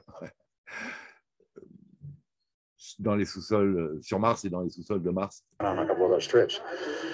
And then it was used to travel some remains of an old civilization in the underground of Mars, and used that extensively for Montauk for investigation. I went on a couple of those trips. Et il a participé à un de ces, à quelques-uns de ces voyages. And then it was used to travel elsewhere all over the galaxy. Et ça a été aussi utilisé pour voyager ailleurs. Galaxy and explore time also at the same time. Alors, c'était donc un, un déplacement dans le temps et dans l'espace. This wasn't done without the help of some alien groups. That's right. Ça a été fait avec l'aide de groupes aliens, oui. Exactly. The reason that happened was, of course, in La raison pour laquelle ça s'est produit, 1954, c'est qu'en 1954, I might add, the problem, the problem began with the lockup of the Philadelphia Experiment and the Montauk Project. En fait, les problèmes ont commencé, enfin, la, la situation, le, le, problème a commencé avec euh, ce mix euh, de, euh, de Montauk et de. The reason that happened was, of course, in 1954, I might add, the problem, the problem began with the lockup of the Philadelphia experiment and the Montauk project. Le mix entre l'expérience de Philadelphie et les projets Montauk. 1243, August 1283. De, qui nous balançait de 1943 à 1983. Il y a, il y a des, des boucles temporelles de 40 ans. Là. Donc, il y avait 2003 et la prochaine, c'est en 2043. Quoi c'est des moments où finalement l'expérience qui s'est déroulée en 43 a encore des conséquences.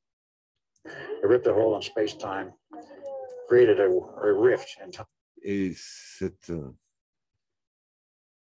je ne sais pas si on peut dire ça, mais cette infraction dans l'espace-temps a créé des échos qui ont permis à beaucoup d'aliens de pénétrer. Ce qui ne s'était pas produit auparavant. Il y a eu des aliens sur Terre et depuis longtemps. Mais ils venaient en petit nombre et sur des petits vaisseaux n'était pas euh, le même genre d'invasion. Donc, quand ils sont venus en grand nombre, ça a créé des problèmes. En 1952, ils ont survolé euh, la Maison Blanche, hein, en effet. Il y a le survol du Capitole euh, avec. ben, il y a, ça dessine, ça dessine quatre triangles de points blancs, c'est-à-dire euh, chacun des points, à mon avis, euh, c'est un vaisseau. Hein. Donc, c'est euh, deux équipes de six, six ovnis, on va dire. Ils, sont atterris à la, à l'Air Force, à la base aérienne d'Edwards.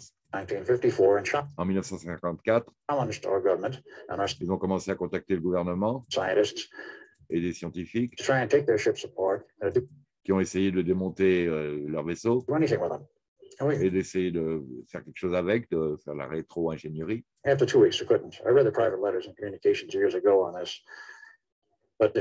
J'ai vu de ces équipements et j'ai eu, j'ai eu entre les mains, a priori, hein, si je traduis euh, l'idée correctement, j'ai eu entre les mains des courriers traitant de cette situation. Et c'était devenu si bien, si, si mauvais, si, ça sentait si mauvais, ça, ça tournait si mal qu'Eisenhower s'en est mêlé.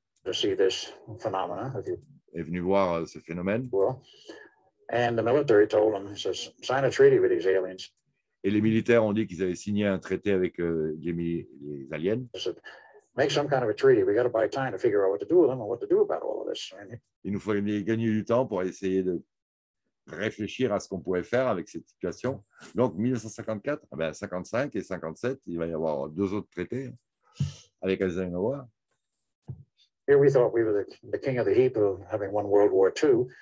Ben, on, on, pensait être les rois de tout en ayant gagné euh, la, les guerres. nuclear energy, nuclear. On avait l'énergie nucléaire. On avait les bombes nucléaires. On était en train de travailler sur la bombe à hydrogène, etc. Et puis on est confronté à ce groupe qui provenait de l'extérieur, les IT, et euh, qui faisait ressembler notre technologie à des jouets d'enfants. Ou de jouer avec des petits pétards euh, du 19e siècle. So, they made an agreement. It was called the Greada Treaty. Donc, euh, ils ont fait un traité qui s'appelait le traité de Grenada, je crois. Grenada, Grenada, oui. Qui a été signé en 54 par euh, Eisenhower. Et ça permettait un libre accès des aliens, une coopération euh, au niveau technique, non-interférence entre les deux civilisations, qui a été d'un des points centraux de l'agrément, qui n'a pas été respecté. Et puis à partir de ce moment où les aliens étaient ici, et par le biais de cet agrément gouvernemental, ils sont devenus part du projet Montauk. Uh, plus tard. An independent project from Brookhaven about Et quand c'est devenu un projet indépendant de Brookhaven, Haven, 1967-68, en 1967-68, and the aliens came in as part of that project and helped, les, Allemands- les aliens faisant partie de ce projet, helped us design the Montauk, what we call the Montauk Project. et ont mis en place ce qu'on appelle le projet Montauk. Enfin, on-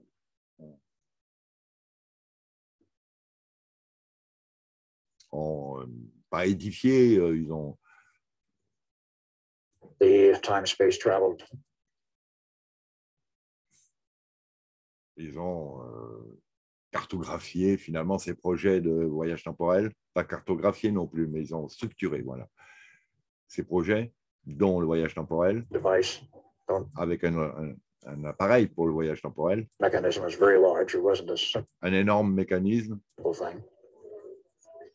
And with their help, we built it and it became functional about 1970, Et avec leur aide, on en a construit un qui est devenu fonctionnel en 1970, partially functional about 76. ouais, partiellement fonctionnel en 76. 77, they finally got it under control, working the way they wanted En 77, ils ont trouvé, enfin, ils ont réussi à avoir plus de contrôle dessus. it to work in 1980. Et en 1980, ils arrivaient à le faire fonctionner correctement. Without the alien technology, it, Mais sans cette technologie alien, into this, we couldn't have done it. We on n'aurait pas pu le faire. could do time travel. We couldn't do time and space both. On pouvait faire du voyage temporel, mais on ne pouvait pas faire du voyage spatio-temporel. In a local area around the Earth or outside. Et dans la zone locale ou environnante, A question that I would have enfin, ces voyages-là dans la zone locale ou environnante. is that were these extraterrestrials not already well versed in time, space Mais alors, travel? Of course they were, So Earth or outside. a question that I would have donc elle pose une question. is that were these extraterrestrials not already well versed in time, space travel? Of course they were. Alors, est-ce que ces aliens étaient déjà pointus dans le euh, voyage temporel, spa- spatio-temporel? So They already knew all about it. Mais bien sûr qu'ils le savaient, ils savaient déjà tout dessus, nous dit Al Bielek. Most alien races are technologically advanced La plupart des races aliens sont technologiquement avancées. Ils connaissent bien le, le voyage euh, tem- temporel, ils s'en servent.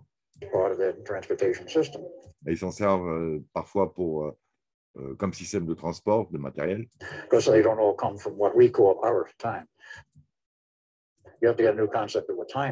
Mais ah, ils, ils ne savent pas ce que ça signifie d'être dans notre temps. Il faut revoir le, le concept de, de temps.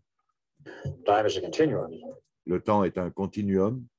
We live in our references Nous vivons dans nos références a singular point, à un point singulier uh, moving along the time stream, if you will, qui se déplace euh, le long de la ligne temporelle, si vous voulez, in an essentially linear manner.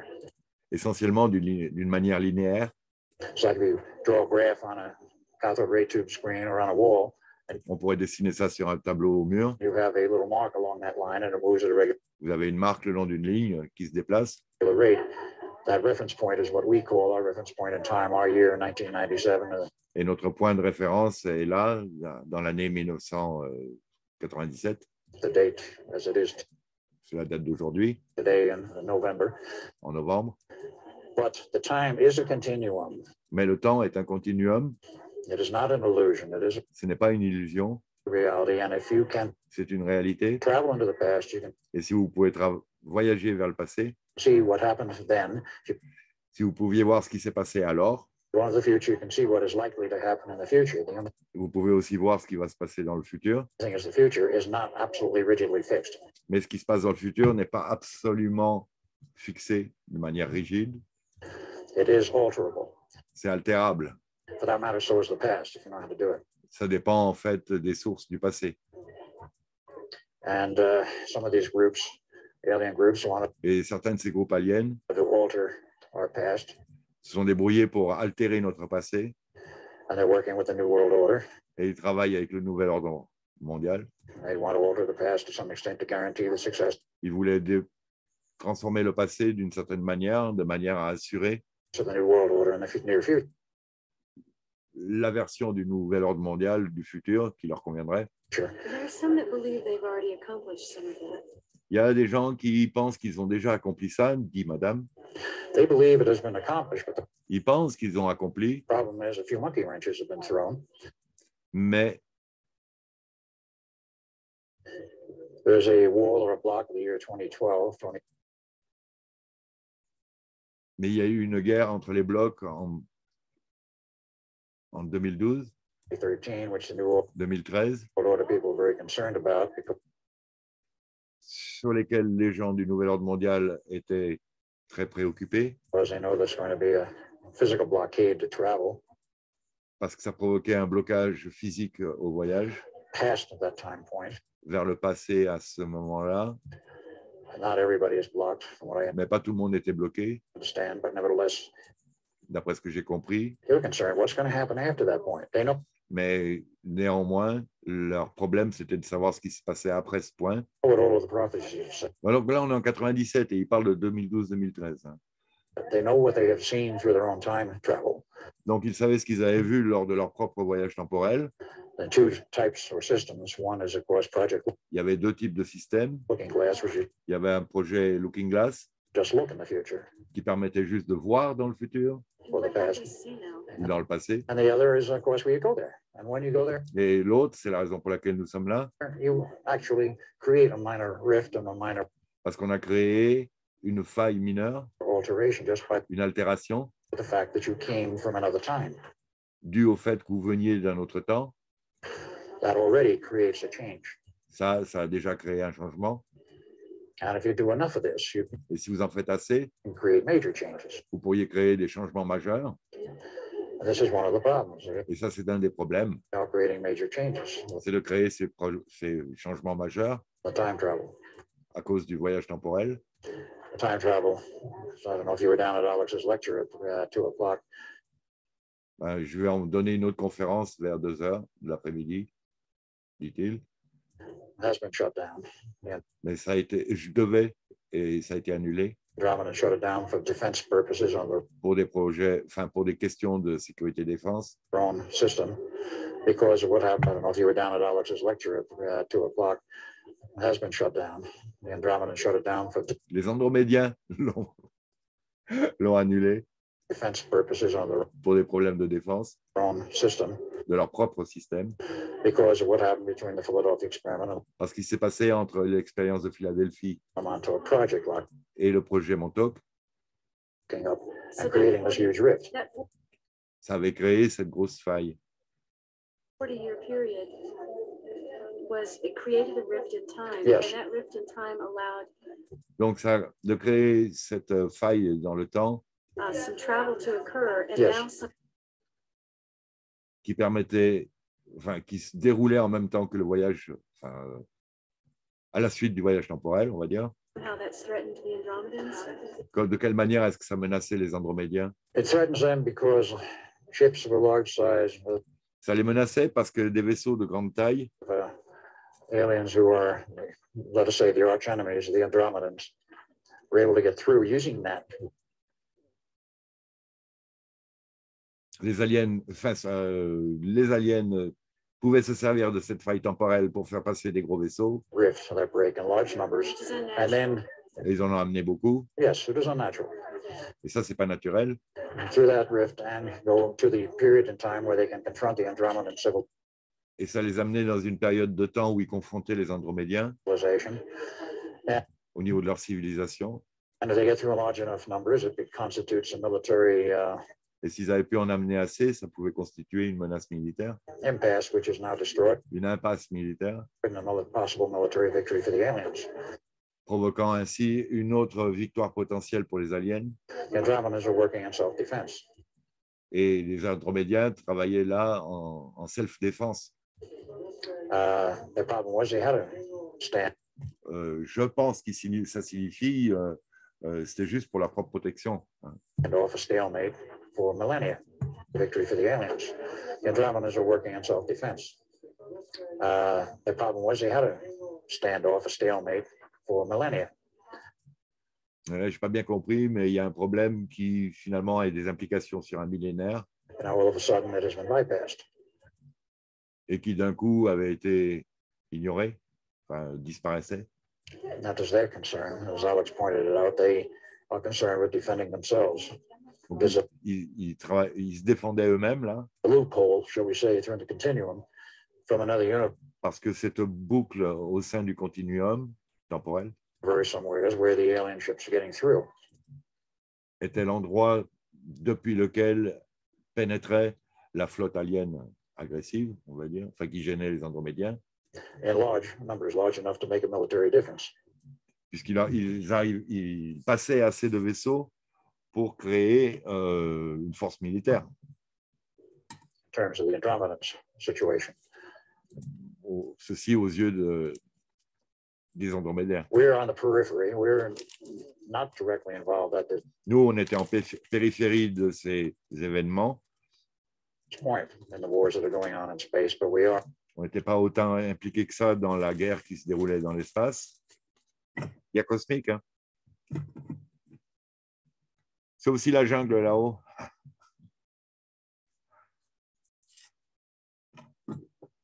Euh, Excusez-moi, je me roule une petite clope, mais euh, si vous imaginez le matos qu'on est en train de d'amener sur euh, le plan de discussion.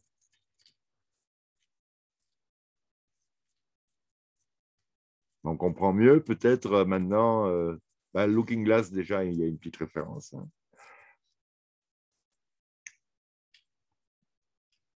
On comprend mieux qu'ils aient vu euh, l'interférence Trump, enfin l'arrivée Trump. On comprend mieux qu'ils aient beaucoup parlé de la chute des Twin Towers, même si cette chute, il me semble, était programmée avant même de construire les Twin Towers.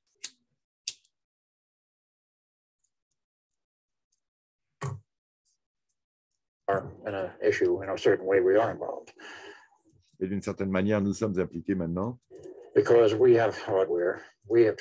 Parce qu'on a le matériel lourd. On a travaillé dans le, on a voyagé dans le temps et l'espace. Et il y avait certains aspects de la planète Terre à cette époque qui étaient désirables pour certains aliens parce qu'ils pouvaient utiliser cette technologie. Ils pouvaient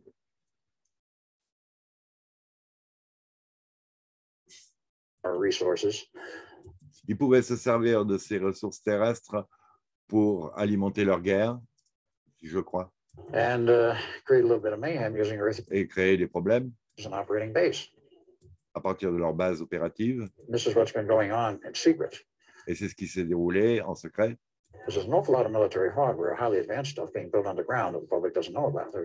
Parce qu'il y a beaucoup de matériel euh, militaire secret qui est amené en, qui est utilisé en douce sans que les gens soient au courant. À partir des bases militaires tout autour de la planète. Vous savez que les Américains ont 1100 bases réparties sur toute la planète sans compter, par exemple, tous les nouveaux labos, les biolabs, euh, ils sont civils dans la mesure. on n'oublie pas que le DARPA a fondé 40% de Moderna, hein, par exemple. Hein. Donc, euh, ils sont civils dans la mesure où ils sont. où on n'en parle pas des militaires, quoi, hein, en fait. Vous savez que normalement, les services secrets militaires, ils sont au-dessus de la CIA, au-dessus de la NSA, ils sont encore au-dessus de tout le reste ils ont la même mise sur tous les autres, normalement. A priori, il me semble. Et ce qui paraît logique. Hein. en tant que militaire, euh, il serait incompatible que des civils aient plus de pouvoir et de capacité et de technologie que vous. Donc, vous ne servez plus à rien. Quoi. Alors, reprenons.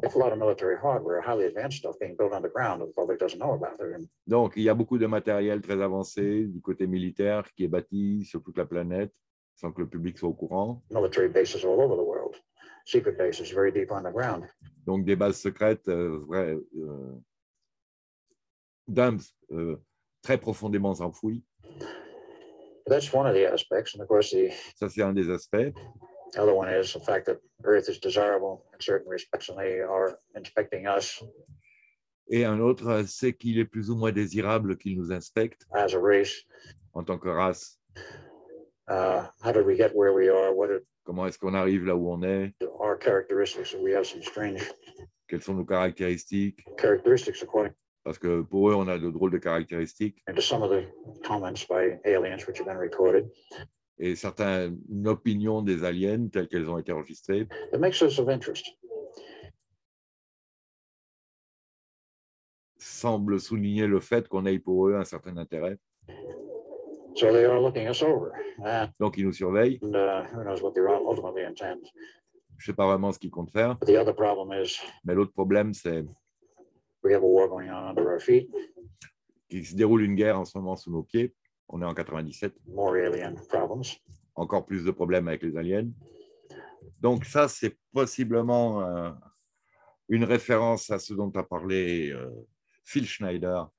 Un jour, parce que donc lui, fort, il est géologue, ingénieur géologue, entre autres, pour la Rande Compagnie ou d'autres euh, compagnies qui creusent ces tunnels souterrains à toute vitesse avec les tunneliers qui, qui forent entre 7 et 14 euh, km par jour, hein, et donc ils n'ont pas besoin de sortir les, gravats parce qu'ils sont vitrifiés et ils créent euh, le tube dans lequel finalement euh, vont circuler après les, les maglèves ou, enfin en tout cas les parois des, des, tunnels, voire des, des dams, des bases.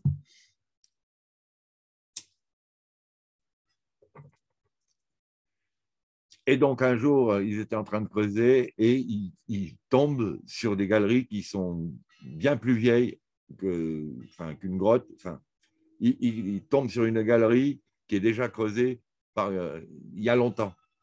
Et quand ils vont en exploration, là, ils tombent sur une équipe d'aliens qui les attaque. Donc, euh, Phil Schneider est confronté à un combat au laser, au pistolet laser.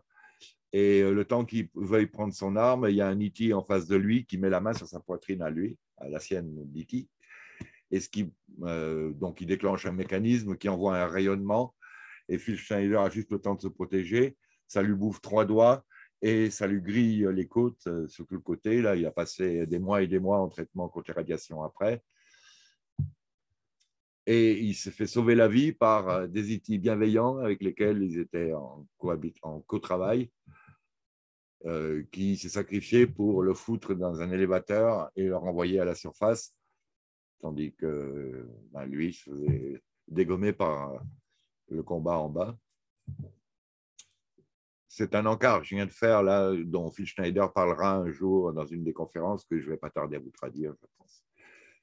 And then we have another neat little thing called the New World Order, which is attempting to take et ensuite, on a une autre euh, légère petite chose qu'on appelle le nouvel ordre mondial,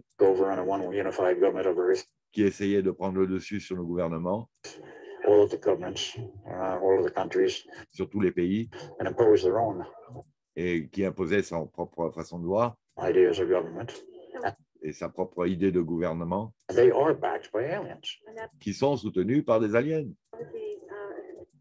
Et ça, ça, ça correspond à ce qu'on dit et ce qu'on sait on est au niveau de la breakaway civilisation euh, avec les Coven, euh, les Anunnaki euh, et,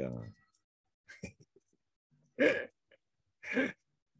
le neuvième cercle, les sacrifices sanguins, les entités, les hauts niveaux Illuminati. Absolutely. Et donc, ça, ça entraînait une perte de notre pouvoir personnel. Oui, la perte des droits individuels. La, la, garantie des libertés. Les bases de la Constitution.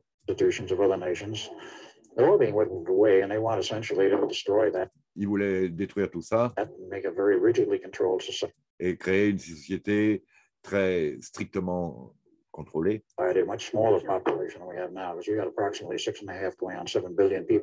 Alors aujourd'hui, on a à peu près 7 euh, milliards d'habitants. Mais ils pensaient réduire nettement la population. Ils voulaient descendre à moins d'un milliard. Je dis quoi? 7 milliards hein? Oui, oui, oui. Ils voulaient descendre à moins d'un milliard. Allô? Bah, c'est, en train de, c'est, c'est ce qui est en train de se passer. Donc, a priori, euh, là, il s'est passé un truc. Ils ont encore joué avec le temps. Ils sont remontés avant le temps dans lequel les autres étaient remontés. Ils sont juste remontés avant. Ils ont, je ne sais pas ce qui s'est passé, mais là, actuellement, c'est la version qu'il est en train de décrire de cette société rigide à la chinoise ou à la toujours chinoise. Il semblerait que l'identité numérique est en train de se répandre en France et que personne ne bronche, quoi.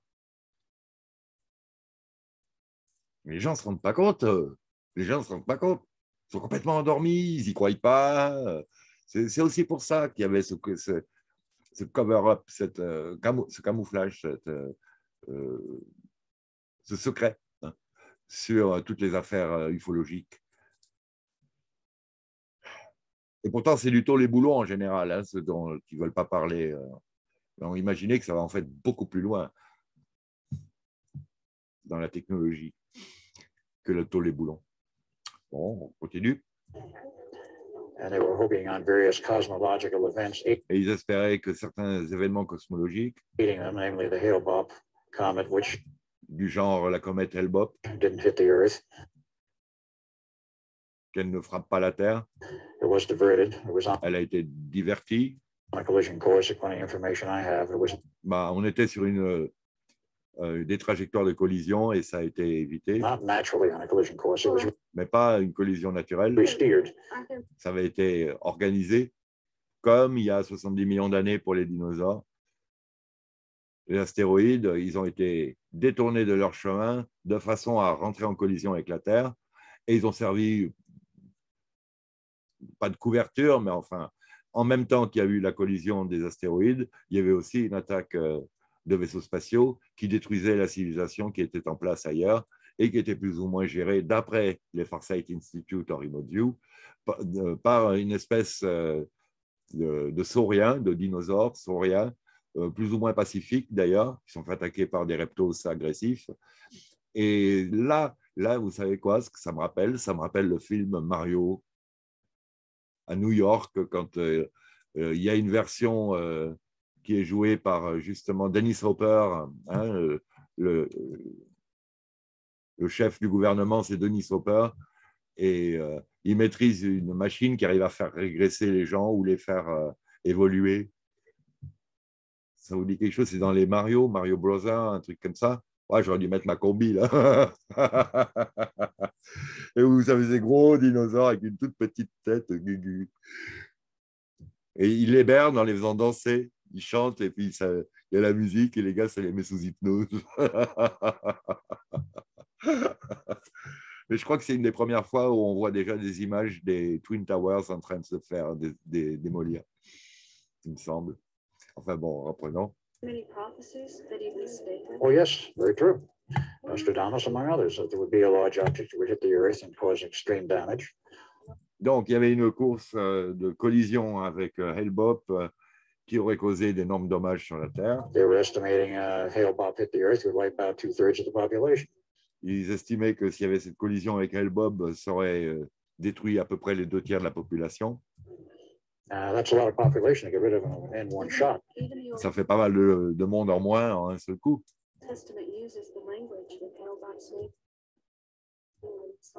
Mm -hmm. Psalms 97 or 96. Alors, elle nous dit quelque chose, mais j'ai du mal à comprendre là, qui se serait déroulé en 96-97.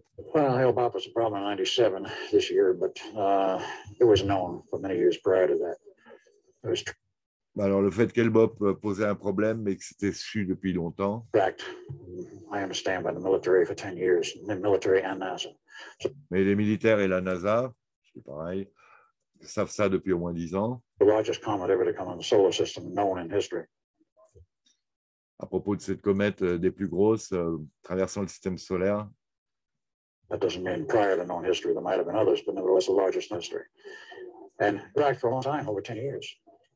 And finally came in, they were tracking it, they had very good pictures of it. Donc ils l'ont ils l'ont repéré, ils l'ont traqué, ils ont pris des images. Pictures of the object falling behind it, actually. Ils ont pris des images des des objets qui la précédaient, c'est-à-dire, euh, enfin, comment dire, euh, le tracteur, hein, le, vaisseau spatial qui aimante la comète et, donc la dirige après euh, vers la cible de son choix, donc la Terre en l'occurrence, si j'ai bien compris. Uh. Hmm? Some people call it wormwood, others call it. Il y a, il y a des gens qui l'appellent wormwood. Other names, according to Virgil, who just left. Uh, it was called wormwood, and it was called that uh, from the Vatican texts and other Christian texts. And uh, d'après les textes du Vatican, was measured in sight. Hercolobus, wormwood, euh, ce qui n'est pas censé être Nibiru vraiment. Hein. And recorded by various, shall we say, space vehicles as well as the Hale-Bopp, which has been functioning quite well. Avec cette interaction avec des vaisseaux spatiaux comme pour Hale-Bopp, ce qui marche plutôt bien. is a thousand miles in diameter. Qui fait à peu près 1000 miles de diamètre.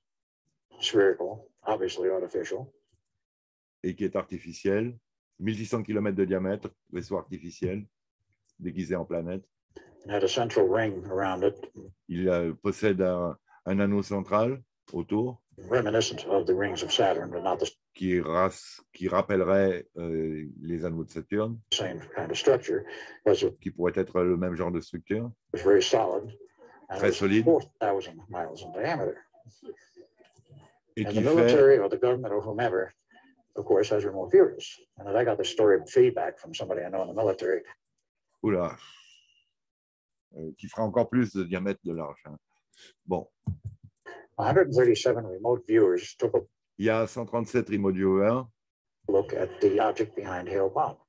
qui ont pris pour cible cet objet devant Hale-Bopp and came up with 137 different answers as to what et qui sont arrivés avec 137 différentes interprétations it was, what de ce que c'était, was in it, and what it was doing. de ce qu'il y avait dedans et de quelle était son activité, son rôle d'être. Donc euh, les militaires aussi ont eu un regard dessus. if it was friendly, there Donc, et ont dé- décrété que si c'était amical, would have been correlation of many of the uh, il y aurait eu une, une activité corrélée de nombreux aliens uh, remote viewers. I know they won't all agree perfectly, et tous les remote viewers auraient eu une opinion semblable et non pas 137 opinions différentes. friendly, they would have gotten some uh, very strong intimation that it was similar results, similar responses, and it was friendly. Donc, parmi les réponses, évidemment, il y en a qui décrétaient que c'était plutôt amical. So 137 different answers. Their view was they were getting, shall we say, answers back to the reviewers, which the returnees from on the object wanted the remote viewers to see. Based Je ne sais pas si je vais bien pouvoir traduire, mais j'ai l'impression qu'en fait, euh, l'interprétation des remote viewers était guidée par euh, les gens qui dirigent la manœuvre autour de Hellbop et qui, euh, ben, c'est un petit peu comme les channelers, là, euh, ils reçoivent le message qu'on leur envoie, hein, qu'on veut bien leur envoyer. what they thought they wanted to see. Voilà. On, on- on vous propose la vision que vous voudriez voir. So they got 137 different answers in accordance with what the remote viewer might have already had in his mind or her mind. Et donc, ces 100 137 euh, différentes versions dépendaient un petit peu de l'état d'esprit des remote viewers avant de commencer leur session vis-à-vis des opinions qu'ils avaient. They took the view that this thing was hostile. Et ils ont fini par admettre que cette chose était hostile. It was destroyed Et donc, elle a été détruite. Alors, est-ce que c'est Hellbop Non, c'est Schumacher-Levy qui a été envoyé sur Jupiter, là.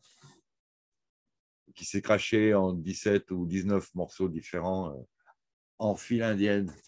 Une comète qui explose, les morceaux de l'explosion, ils ne se mettent pas en file indienne, ils partent dans tous les sens. C'est trop bizarre de voir. euh, ben, c'est un train de. C'est comme si un train de satellite revenait sur Terre les uns derrière les autres, mais que ce train de satellite était issu d'un énorme satellite qui aurait explosé. C'est pas possible. Il, il, finit pas en, train à la queue leu leu en file indienne là. Ça, c'est organisé. Donc, euh, j'ai une source qui dit que, mais il me semble que c'est Schumacher-Levy, hein, c'est pas c'est le- là, je vous parle tout de suite, la source, hein, euh, avec ma source. Euh, Lui, il dit que c'était une attaque sur la civilisation de Jupiter. Oui, parce que Jupiter, c'est gazeux, c'est gazeux, c'est gazeux parce que c'est les couches de protection qui nous empêchent de voir ce qu'il y a dessous, en fait. On est face à des civilisations hautement avancées qui savent manipuler ça. Bon, allez, reprenons. Hmm? Totally. Oh. Est-ce que ça a été détruit? Oui, totalement. Vaporized. Vaporisé. Par qui? Us. Par nous. Par les militaires, donc, américains. Whether or not there was any help, I can't say, but uh, the word Je ne pourrais pas dire que ça n'a pas été sans aide extérieure. I have is that the uh, Mais les indices que j'ai, military, assuming it was US, it might have been joint, but I essentiellement américains, mais il pourrait y avoir des alliés. assume it was US military had the means to destroy it with Ils avaient les moyens de détruire a single missile, with a single bomb of a new avec un, un missile unique ou une bombe unique. Now, Sitchin's work Donc là, elle nous dit que le travail de Sitchin, de Zachariah Sitchin, qui, est, euh, qui était euh, franc-maçon du 33e degré quand même, donc qui avait une interprétation à nous donner, qui rentrait dans les plans qu'ont les francs-maçons pour euh, bâtir dans l'opinion du peuple le paysage qu'ils veulent qu'on aille, et notamment en général l'idée que les Anunnaki nous ont créés et que donc on doit leur obéir et qu'on leur appartient. Ils font ce qu'ils veulent avec nous. Et hop, fermez vos gueules. Vous voyez les gens Alors qu'en fait, non, les Anunnaki ont hacké l'ADN humanoïde qui date d'il y a bien plus longtemps, ainsi qu'on l'a vu avec Ashanadin, entre autres. Reprenons. a potential that that was Aya returning? Is that right? No, this is not considered uh, Donc, d'après Zachariah Sitchin, euh, la situation était le retour des Hittite et Albilek dit non. uh, the 12th planet, Cette douzième planète, Marduk, as it sometimes is called. qui avait été appelée Marduk, Uh, no, it's much larger. Marduk is much larger than the Earth. Right. ah oui, ou Iris, mais en fait, Marduk est bien plus grosse qu'Iris. Iris, c'est une exoplanète hein, aussi. Il y a Iris, Makemake, euh, je ne me rappelle plus trop là, mais il y en a au moins une douzaine euh, qui ont été répertoriées officiellement par la NASA, hein, d'exoplanètes dans le système solaire. It's supposedly still coming. I, Et soi-disant, elle est toujours en route pour venir. Sitchkin cannot be pinned down to a date as when it's supposed to come in. Uh, he's, many people have tried. Beaucoup de gens ont essayé de confirmer ces données, mais n'y arrivent pas. Uh, he will not give an exact date. And they asked Ils ne pourraient pas nous donner une date exacte. astronomically, they're not really sure. And from what I've heard, the thing has apparently been changing uh, speed, Mais euh, d'après ce que j'ai entendu parler, cette chose change apparemment de vitesse, which is rather unusual for a large object that ce qui est plutôt euh, inhabituel pour un objet large, euh, un grand objet. size. If it is, and that's the reports, and I do not know their accuracy as to whether this is a true, accurate statement.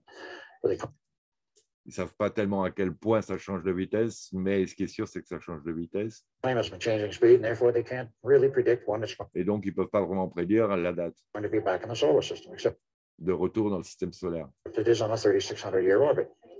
Mais elle est sur une orbite de 3600 ans. Donc, on parle un peu de Nibiru, là, de ce qu'on pense de Nibiru. Elle n'était pas originellement partie du, soleil- du système solaire, mais elle y retourne. But in terms of, uh, say, the uh, astronomical and cosmological aspects of the Mais du point de vue astronomique et cosmologique, solar system, it is part of it now, even though it's not here aujourd'hui, on peut la considérer comme faisant partie de ce système solaire. most of the time. Uh, various people, astronomers, même si elle n'y est pas pendant la majorité de, sa, de son orbite. Alors, petit encart, aujourd'hui, là, euh, il n'y a toujours pas d'observation. D'après Suspicious Observer, mais là-dessus, je ne sais pas s'il a vraiment raison, mais d'après les chiffres et les données qu'il a, euh, il n'y a pas d'observation d'un Nibiru dans le coin. Et une planète telle que Nibiru a une telle influence électromagnétique que ça ne passerait pas inaperçu. Bon, euh, on est quand même soumis au cycle solaire. Il y a toutes les planètes du système euh, qui sont en chamboulement, réchauffement. Certaines euh, changent d'axe, euh, il y a des aurores boréales sur Vénus, sur Jupiter, sur Saturne, sur... Il y, a, des bouleversements électromagnétiques dans le système solaire. Et ça, ce n'est pas dû à l'émission de CO2 ou de méthane de nos vaches ou de nos mobilettes. Hein. ça, c'est clair Merci. Bon. Le CO2, c'est la bouffe des plantes, ce n'est pas un polluant. Il faudrait quand même arrêter de, suivre absolument les, criminels du GIEC qui, trouvent tous les moyens pour nous accuser euh, de vivre. On a, on a une gêne, donc euh, ils vont prendre n'importe quel moyen et vont essayer de trouver en fait ce qui nous sert et de nous faire croire que c'est un poison, hein, globalement, que c'est une gêne. Et donc, euh, après, ils prennent des mesures, ils vous font payer des taxes pour lutter contre ça, soi-disant, alors que de toute manière, l'origine de, des changements de CO2 et de température n'est pas d'origine humaine. C'est 0,001% euh, hein, par rapport à tout le reste euh, dans le système solaire. Ah, bon. And others uh, started with Velikovsky, who made an donc là, il nous parle de Velikovsky. Of the qui avait fait une, une, analyse des mouvements et des perturbations des, du système solaire, planets of our solar system said, des, des planètes du système solaire. Flat out, it said there are perturbations of the orbit of Pluto. There has to be at least one more planet out there. I mean, et qui disait qu'en fonction de l'orbite actuelle de Pluto, il devait y avoir eu une autre, au moins une autre planète en plus. Dont il n'avait aucune idée de où elle était, qui elle était. Il disait juste qu'il devait y en avoir eu une autre avant. Well, uh, Sitchin came along and after searching the old Sumerian records came up with the answer of the 12th planet. Donc, Sitchin arrive avec son interprétation euh, des textes sumériens et l'idée qu'il qu y avait une douzième planète. And it would appear he's correct. Et là-dessus, il pourrait se faire qu'il soit correct. I've seen it. It looks like he's right. Astronomers are not arguing with him. That, that Les astronomes ne sont pas tous d'accord avec. Not saying anything publicly either. Mais ils ne s'expriment pas vraiment publiquement à ce sujet. Vous savez que celui qui s'était exprimé publiquement a eu un accident soudain euh, de Jeep, soi-disant à cause de l'alcool, alors qu'il ne buvait pas, genre. Euh, c'est. Euh, ben, son nom m'échappe là. Mais il y a justement une interview, une vidéo d'une interview entre lui et Sitchin. C'est un Australien, me semble-t-il. Ah, son nom m'échappe, excusez-moi. has been pretty good on his data. Donc, Sitchin n'a pas été trop mauvais avec ces données-là. Mais il y, a, il y, a, toujours deux choses. Hein. Vous pouvez avoir les bonnes données et une mauvaise interprétation. La NASA, elle a des bonnes données. Enfin, elle donne les mêmes données. Ben, il n'y a pas que la NASA qui capte des signaux cosmo cosmiques, cosmologiques. Et euh, par contre, c'est l'interprétation qu'elle en fait après qui passe dans les médias qui sont voix uniques. Hein. Elles sont aux ordres, ils disent tous la même chose. Par contre, les données, vous pouvez avoir euh, les autres agences euh, spatiales qui les ont aussi. Donc, vous ne pouvez pas vraiment tricher sur les données. Mais sur l'interprétation, par contre, là, ils ne se gênent pas. Quoi. Bon, avec la dernière pandémie, là, ils ont triché même sur les données, mais bon. Euh, quand on a les vraies données, notre interprétation, par contre, elle est très différente, évidemment, en plus parce qu'on voilà, c'est pas le sujet. Reprenons. It comes out of ancient texts. Donc, à partir des textes anciens. He is a diligent researcher, absolutely. It's quite thorough. Tell us a little bit more about uh, up to present moment. The... Bon, on change de sujet là. Elle lui demande de parler du moment présent. The issue that occurred at the beginning of October, where the Andromeda. Avec euh, la situation qui se produit au début d'octobre. Oh. Avec cette affaire euh, de d'Andromédiens qui arrêtent. Yes. The Andromedans were threatening to shut down time travel on a planet. Ah voilà, qui menace de mettre fin au, au voyage temporel. Donc lui, il reprend euh, les Andromédiens menacent de mettre fin au, au voyage temporel. Et il l'avait même arrêté. D'après les données que Alex Collier a, reçues des Andromédiens, ils ont même déjà euh, mis fin à certains projets de voyage temporel. Which is causing now a slow encroachment folding in. These are two alternate realities. Qui, rapproche, qui provoque maintenant le rapprochement de deux réalités alternatives. Il y a des théories comme quoi il y en aurait sept. Mais prenons donc deux. L'une d'entre elles comportant la ligne temporelle principale. Dans laquelle ils possèdent encore l'équipement pour le voyage temporel. Shall we say, somewhat altered realities from what we have. Ceci faisant partie de réalités alternatives à celles que nous avons là. And according to Alex again, et en accord, euh, enfin d'après Alex Collier, je pense c'est Alex Collier, hein, il n'a pas dit Collier, mais il parle d'Alex. Les Andromédiens, c'est Alex Collier. il en a croisé deux, euh, dont les noms m'échappent là tout de suite. Euh, hmm, Mahoney et je ne sais plus qui. Il les a croisés deux ou trois fois, puis plus, puis ça s'est arrêté. Hein. Alors, est-ce que ça s'est arrêté à partir du moment où il était trop public euh, pour ne pas être euh, susceptible d'être surveillé et donc euh, ne pas pouvoir prouver qu'il avait eu des rencontres, qu'il valait mieux qu'ils disent, bon, ils se sont arrêtés? C'était dans le passé, les gens ne peuvent plus rien prouver. Est-ce qu'il y a ça? Mais sinon, la version qui nous donne de l'histoire cosmologique de la Terre, d'après les Andromédiens, est assez plausible. C'est intéressant. C'est un des premiers à nous avoir parlé aussi des interférences draconiennes et reptiliennes et du fait euh, qu'ils nous élevaient, qu'ils nous bouffaient. Ils nous enlevaient et qu'ils nous bouffaient.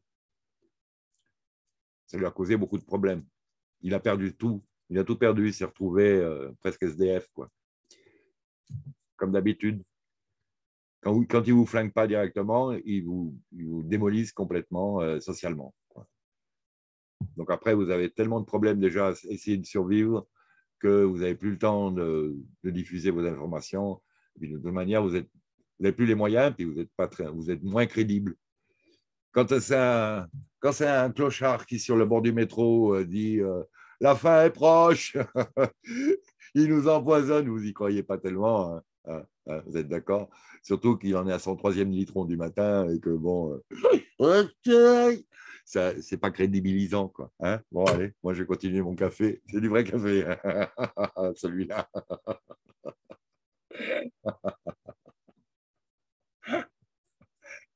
parce que des fois, c'est du café belge avec de la mousse. là, il est, aussi froid que ce devrait être une bonne bière, mais bon, reprenons. Donc, euh, les Andromédiens ont arrêté le temps, ont bloqué le voyage temporel dans ces deux réalités alternatives. Et on va se concentrer sur la ligne euh, temporelle principale qu'on est en train de vivre, là, qu'ils sont en train de vivre en 97 dans cette euh, conférence ufologique aux États-Unis à laquelle participe donc peut-être Alex Collier, mais aussi Phil Schneider, je pense. 97, il est encore vivant, il me semble. Parce que de 95 à 97, il n'a pas arrêté de faire des conférences et après, il est mort. il s'est fait assassiner par les Manu Black qui ont piqué tout son matos. Hein. Ah, je vous en ai parlé bah, dans la vidéo précédente, je crois, si je me que je vais mettre en ligne avant celle-là. Hein. Euh, oui, en fait, je devrais faire le contraire, mais c'est un peu dommage parce que dans l'autre, euh, je fais un panorama complet avec plein d'encarts euh, qui vous bâtit un petit peu le paysage dans lequel vous pouvez situer Albilec. Donc, je vais la mettre avant pour des questions de, de, bah, compréhension, quoi, on va dire. Hein. Une introduction à tous ces sujets-là, quelque part puisque ces temps-ci, on parle beaucoup de lignes temporelles et que j'ai de gros problèmes avec. Là aussi, hein, je vais vous dire. Hein. Mais ça fait donc pas mal d'années que je suis confronté à cette. Ah Qu'est-ce qu'il me raconte là de toute façon, qu'est-ce qu'on en a à foutre des autres lignes temporelles qu'on ne pratique pas et des, des réalités alternatives? On n'est pas dessus, nous. Donc, c'est intéressant de savoir s'il y en a vraiment, qu'elles existent, oui, comme ça, là, euh, vraiment, on en a. C'est on a déjà affaire assez avec la nôtre, quoi. C'est pas, on s'en fout de ah c'est mieux dans l'autre, oui, oui, ben, super, ah ben, c'est super, ah ben sans blague, ben, c'est pire dans celle-là par contre, ah on s'en sort bien alors, non mais tout ça c'est du, on s'en fout quoi, c'est pas l'importance. C'est la masturbation intellectuelle, presque. Mais à condition que j'ai pas tort. Si j'ai tort, euh, voilà, et que ça peut interférer, euh, là, c'est plus la masturbation intellectuelle. Là, on ne peut pas ignorer complètement la chose. Donc, euh, moi, je vous parle de tout, hein, on verra. Hein, de toute façon, j'ai un petit peu quelques opinions dans tout mon travail, là, que je vous fournis, mais sinon, essentiellement, je traduis le matériel de ces gens-là. Hein.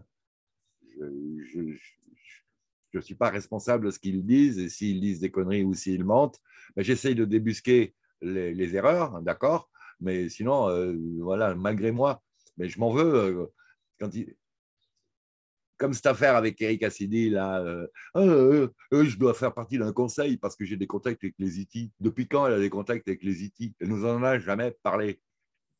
Et vous imaginez bien que si elle avait eu des contacts avec les IT, à mon avis, elle nous en aurait parlé, je vous disais tout à l'heure, pendant une semaine. On n'arrêterait pas d'ailleurs d'en parler. On parlerait que de ça constamment. Elle, arrêterait d'interviewer des gens. Elle parlerait de, ses contacts avec les IT et comment ils, voilà, comme euh, Megan Rose ou euh, Elena Banane, ou, euh, voilà. elles ne parlent que de ça, de ce qui leur vient de leurs IT. D'ailleurs, à propos, je trouve que Megan Rose est beaucoup plus sympa et qu'elle a une approche beaucoup plus plausible et des, des dires beaucoup plus plausibles. Enfin, moins, moins faux. Je trouve que ça, son état d'être lorsqu'elle transmet, lorsqu'elle est en télépathie active par son implant, il me semble, euh, elle est vraiment en train de décrypter ce que l'autre lui envoie comme image. Je trouve ça plus réaliste. Et puis elle ne change pas de ton de voix comme si elle nous parlait euh, comme une grand-mère qui raconte un conte de fées à des petits-enfants, euh, avec qui soudain le loup, avec ses grandes oreilles. Oh my God, my God, voilà, tout ça, là, euh, j'ai beaucoup de mal avec euh, au niveau d'assurer la crédibilité après des dires. Hein. Ça ne correspond pas, à mon avis, euh, au niveau mental et de conscience et de maturité que j'estime que ces contacts avec les civilisations extérieures devraient avoir. Voilà. Moi, je trouve que les IT qui prennent des gens qui ont une telle maturité euh, chancelante, bizarre, adolescente, bah, euh, c'est très bizarre. Quoi. Hein. De leur part, comme stratégie, c'est très bizarre. Enfin, reprenons. affecting us because I've seen it and I know other people are sensitive to the fact that there are strange things happening, overlaps of people from another reality we see physically for a short oh period of time and it's gone. I mean, I see Excusez-moi, mais je suis resté euh, sur ce que j'étais en train de vous dire là et j'ai pas écouté ce qu'il disait. Someone walking through a room you know doesn't belong ah. on there, or someone you know with slight. Non, encore. Mais comment ça se fait? Je vais en arrière là. Different appearance. Ouais, encore. Mais pourquoi ça repart toujours? Je ne suis pas en train d'enregistrer. Si? Ah oui, j'ai dû cliquer là-dessus. C'est pour ça que ça ne revient pas en arrière. D'accord. Uh, folding in is the two ultimate realities. Voilà. We'll get into the theory about seven, but there's two voilà. ultimate realities. And according to Alex again. Donc en accord avec ce que dit Alex. The Andromedans, so they shut down time travel in those two realities. Les Andromédiens ont mis fin au voyage temporel sur ces deux réalités alternatives. They're starting to fold in on this one, the main. Ce qui a provoqué l'unisson des deux. And are affecting us because et ça nous affecte. Je ne l'ai pas vu, mais plein de gens l'ont vu. Strange things happening, overlaps. Avec euh, d'étranges choses qui se surimposent. Of people from another reality receive.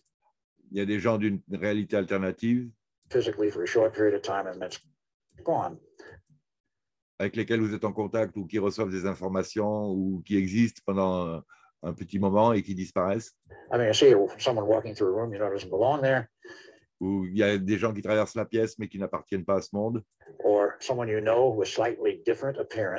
Ou quelqu'un que vous connaissez qui d'un coup a une apparence différente. Il nous parle presque de l'effet Mandela là. Uh, walking through the same room where they normally are uh, this is an alternate reality type thing. Yeah, they dress differently. They may have a different function in business. Ils sont habillés différemment, ils peuvent avoir un autre métier, mais c'est les mêmes. Society. So it's like a bleed through. It is an absolute bleed through. That's correct.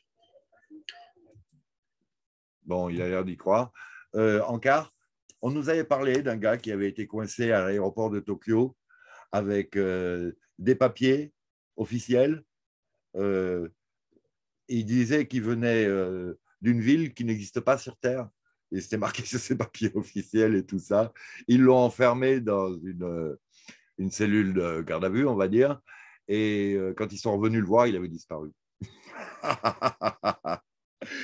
le, film Kepax, là, hein, voilà, genre, genre.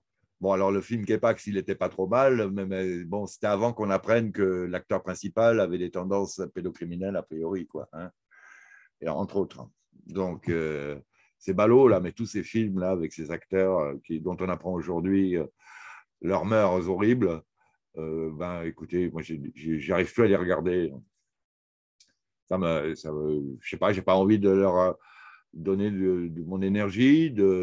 C'est ballot, hein C'est ballot. Hein. je vous parlais hier de, du, du, mouton enragé, là, avec Jean-Louis Trintignant. Là, entre son jeu et, plein d'autres, enfin, j'en ai parlé dans la vidéo précédente, donc euh,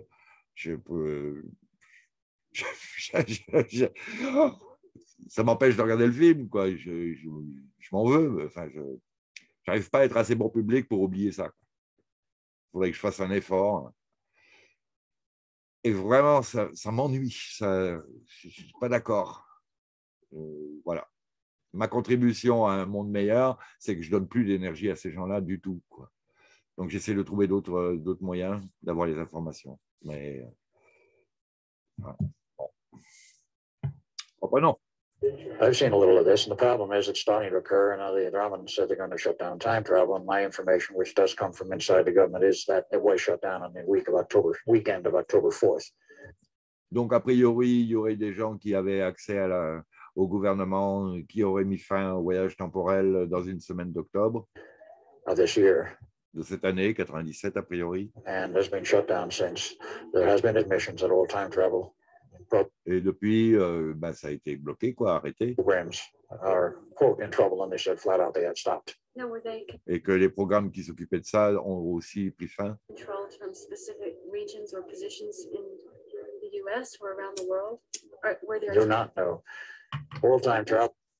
Vous ne sauriez pas si ça a eu des interférences quelque part sur Terre ou avec certaines nations.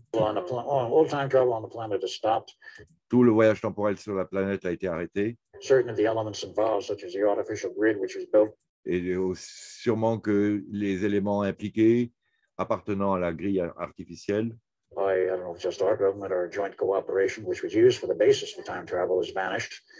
les bases dont se servaient les éléments du gouvernement pour utiliser le voyage temporel ont aussi disparu. Et des systèmes de communication, voire de navigation, ne fonctionnent plus. Ou en tout cas, ils fonctionnent tellement moins bien vis-à-vis du niveau avec lequel ils fonctionnaient bien avant. Est-ce que ça provoque des crashs de vaisseaux? Théoriquement, ça pourrait.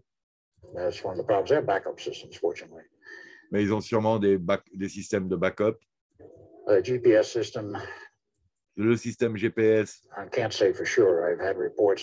Bon, je peux pas, je peux pas l'affirmer de manière sûre, mais il a eu des rapports uh, d'une source qui dit que il était devenu quasiment inopérant. Mais ça, c'est un point particulier. J'ai essayé d'avoir des, des corroborations par des pilotes de, de ligne. Ils n'ont pas répondu positivement. évidemment, ça se saurait, quoi. Mais c'est possible qu'à un endroit donné, euh, le GPS était euh, déstabilisé. Bon, je ne sais pas, mais sinon pas de manière globale. Ben, euh, à moins que ça saurait, quoi, je veux dire, quand même. Là, quand on perd un avion, tout le monde le sait normalement. Hein. Interest is a friend of mine who has a very large, shall we say, radio laboratory with receivers which will cover everything from about 10 hertz up into the gigahertz region. Il y avait des laboratoires avec des possibilités de captage radar depuis la fréquence 10 Hz jusqu'à des gigahertz. As of course, over the years, because of his interests, monitored the particular and specific frequency used. Qui contrôlait les fréquences particulières utilisées. For communication through wormholes. I pour communiquer au travers des trous de verre, des wormholes, through time. qui traversent le temps aussi. Certain frequencies and channels which are open for this. Et il y avait certains canaux qui étaient ouverts pour ça. And he monitored them periodically to see if there's just... Alors, petit encart, euh, euh, Kim Gogan euh, a parlé de ça quelque part. Elle a parlé de ces systèmes. C'était les systèmes d'ailleurs justement par lesquels les, les, agents du Nouvel Ordre mondial attendaient du soutien de la part euh, de leurs alliés Ziti mal, malveillants.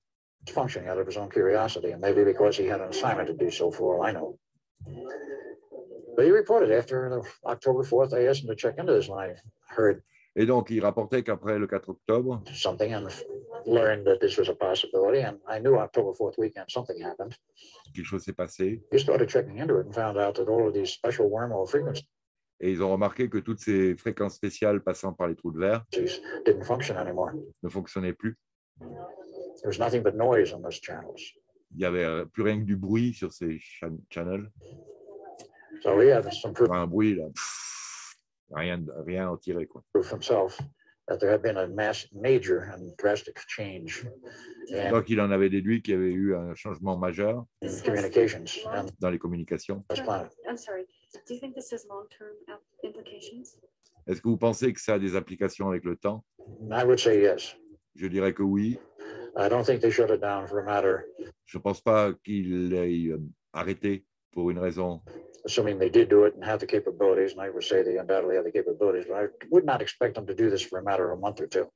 I imagine this is going to be for years. Ah, je ne pense pas qu'il l'aurait fait pour une durée de quelques mois, mais plutôt pour des années. Maybe decades. Mais voire des décennies. Unless we find a way around it. À moins qu'on trouve un moyen de contourner ce blocage. I do know governments are working on a way around it. Bon, je sais que le gouvernement travaille déjà à des solutions de, de backup. Uh, so far as I know, they've not been successful yet, but I. Je ne sais pas s'ils ont eu du succès jusqu'à présent. That's not inside information. It's not accurate information. C'est pas des informations fiables. That they are fighting it to find a way around it, yes. Qu'ils essayent de trouver un moyen, ça, oui, c'est sûr, mais qu'ils soient arrivés, c'est pas, c'est pas dit. I know. I do not know if they've been successful. There's no indication that I see that they have been so far. Et d'ailleurs, il n'y a pas d'indication qu'ils auraient réussi. This is a major shift, shall we say, in the paradigm of what goes on with our society and civilization. Donc c'est un shift, un, une, une, bascule, un glissement sur le vis-à-vis -vis du paradigme sur lequel notre société avance. Uh, où nous ne pouvons plus faire de voyage temporel. Uh. On ne peut plus interférer avec le futur ou le passé. Try to change history. Now we're blocked. On ne peut pas essayer de changer l'histoire. from doing that. On est bloqué dans, ce, dans, ces, dans ces actions. Et on est aussi empêché de nous servir de certaines euh, armes de défense. At the same time. En même temps. Uh, which is, was used in terms of diverting Hale-Bopp. Du genre de celles qui ont été utilisées pour uh, changer la course de Hale-Bopp, la comète. That capability is now shut down. Maintenant, cette possibilité est inemployable. The particle beam weapon system still work, but there was another additional factor which I don't want to go into television about, uh, which was developed. Il y a un autre système d'armes dont la télé avait parlé, qui a été développé. I can only say our government I cannot say whether it's uh, available. Mais on peut vraiment, ça nous, ah, il aurait des sources du gouvernement, mais il peut pas vraiment en parler. Of the US or not. Il ne peut pas dire si c'est américain uniquement ou pas. Il y avait beaucoup de moyens, enfin il y avait plusieurs moyens de divertir, on va dire, Elbop. Un de ces systèmes est maintenant bloqué.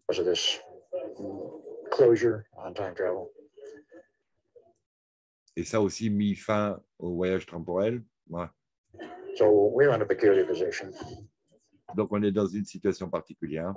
A lot of the alien groups which were using time travel to get Beaucoup de groupes aliens qui utilisaient le voyage temporel in and out uh, pour entrer et sortir de la planète uh, with their ships avec leurs vaisseaux are now blocked. sont maintenant bloqués. Some of their ships are trapped here. Leurs vaisseaux sont bloqués aussi, According to Alex, ici, sur Terre. Et en accord avec euh, ce que dit Alex Collier, uh, certain of the alien groups are now blocked here. They can't go back home certains de ces groupes aliens sont bloqués ici maintenant sur Terre et ne peuvent pas rentrer à leur maison because they had to use time travel to do it. parce qu'ils utilisaient le voyage temporel pour le faire. Uh, it creates a rather interesting situation. Donc, ça crée certaines situations euh, intéressantes. Is it because they want us to see how we're doing on our own? Est-ce que c'est parce qu'ils voulaient voir comment est-ce qu'on se débrouillait par nous-mêmes? This is another aspect of Oui, c'est un autre aspect.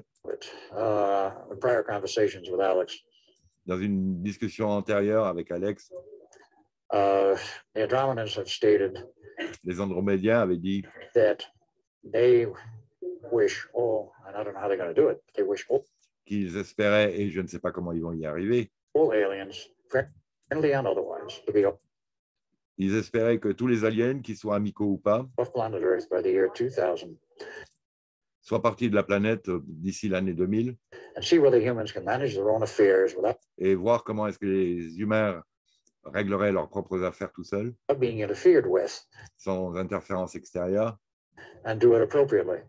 et qu'ils arrivent à le... Et s'ils arrivaient à, à s'en sortir proprement. I think they can. Euh, Albilek nous dit, je pense qu'ils pourraient, nous les humains, on pourrait. But the problem is, there's been so much alien interference o- Mais le problème, c'est qu'il y a eu tellement d'interférences aliens over the centuries, au cours des siècles. and in terms of our governments today, in the Et en termes de gouvernement aujourd'hui, last century, this notre dernier siècle, current one, voire l'actuel, uh, aliens are actually involved in the government, les aliens sont impliqués dans le gouvernement actuellement. And they are quite capable of disguising themselves to look like humans. Et ils ont les moyens de se déguiser, de ressembler à des humains. There are shapeshifters, Il y a des shapeshifters and there are those who, with a little bit of uh, either cosmetic surgery or et d'autres avec un petit peu de chirurgie cosmétique cosmetic cover-up, ou de maquillage can look enough like a human to be accepted as one. pour être ressembler tellement à un humain qu'on le prend pourtant pour tel. And they're Well, and Et ils ont des accords and foreign people governments. aren't going et des accords avec les, les étrangers. Et... Ah, et ils sont dans le gouvernement et ils sont dans les gouvernements étrangers. Pardon. to relinquish their power, they? Of course not. Those who have power don't want to let it go. They quite literally have to be beaten over the head, if to put it that way, beaten allegorically, or the power removed from them forcibly, if they don't want to give it up for the betterment of humanity, but want to retain power for their own selfish purposes, which is, of course, what has Bon, il y a une lutte euh, pour euh, récupérer le pouvoir par l'humanité, mais ils ne sont pas prêts à le laisser faire a priori. happened in this past century, going back, Et en fonction de ce qui s'est passé ce dernier siècle, back into the last century, the governments have deteriorated, les gouvernements se détériorent, private enterprise groups, uh, les groupes d'entreprises privées, les, les corporations internationales wish to retain their power and their profit gardent le pouvoir pour leurs propres bénéfices and uh, without any general consideration of the welfare of humanity. Uh, et sans aucune considération pour euh, l'évolution de l'humanité, on va dire. not saying that of all corporations by any means, but there are those who are in that sort of situation. Il y a aussi des luttes à ce niveau-là. There are governments who have become that way because of the interference. Et il y a des gouvernements qui ont pris la tournure d'aujourd'hui à cause de ces interférences. They no longer are able to think Ils ne peuvent plus penser par eux-mêmes. in terms of humanity. They Et avec l'humanité à cœur, le bien-être de l'humanité à cœur, think they are, but there is a problem called mind control and mind ils pensent peut-être qu'ils le font, mais il y a un problème de contrôle mental manipulation, which is et de manipulation qui est en partie dû aux technologies aliens et en partie dû aux technologies propres au gouvernement. uh, which the, let us say, the most altruistic, dans lesquels, a priori, euh, l'aspect altruiste disparaît. Bon, petit encart, euh, oui, là, je suis d'accord avec ce qu'il dit. c'est ce qui... Ouais, ouais. On a les corporations internationales, on a le contrôle mental et on a des gens comme Metallic Man qui ont travaillé pour le MJ12 et qui pensent que c'était l'idéal. Ont accepté le règlement comme quoi, un, le chef a toujours raison, deux, quand il a tort, appliquer l'article 1. Quoi.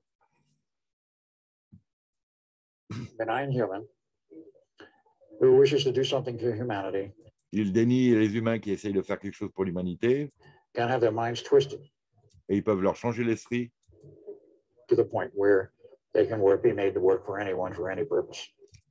Jusqu'au point où ils pourraient travailler pour n'importe qui, dans n'importe quel but.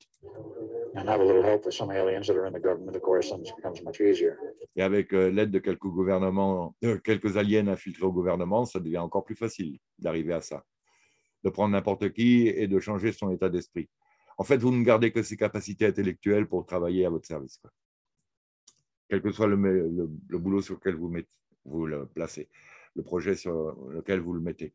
Et euh, petit encart aussi, euh, euh, il y a des gens, à la limite, s'ils n'y arrivent pas, ben, ils, prennent les, manières mafieuses de base, c'est-à-dire si tu ne le fais pas, on nique ta famille. Quoi. Voilà, point à la ligne. Toi, toi, toi, à la limite, on t'épargne, on a besoin de tes capacités, mais toute ta famille et tes voisins et tu vas les voir disparaître sous tes yeux. Voilà. Bon, reprenons. You physically out the brain and the nervous system with too much electromagnetic energy. So that, let us say, psychic defenses and such, to minimize or greatly reduce the effects of mind manipulation, mind control system. Pour euh, diminuer les effets de la, la manipulation mentale et du contrôle mental.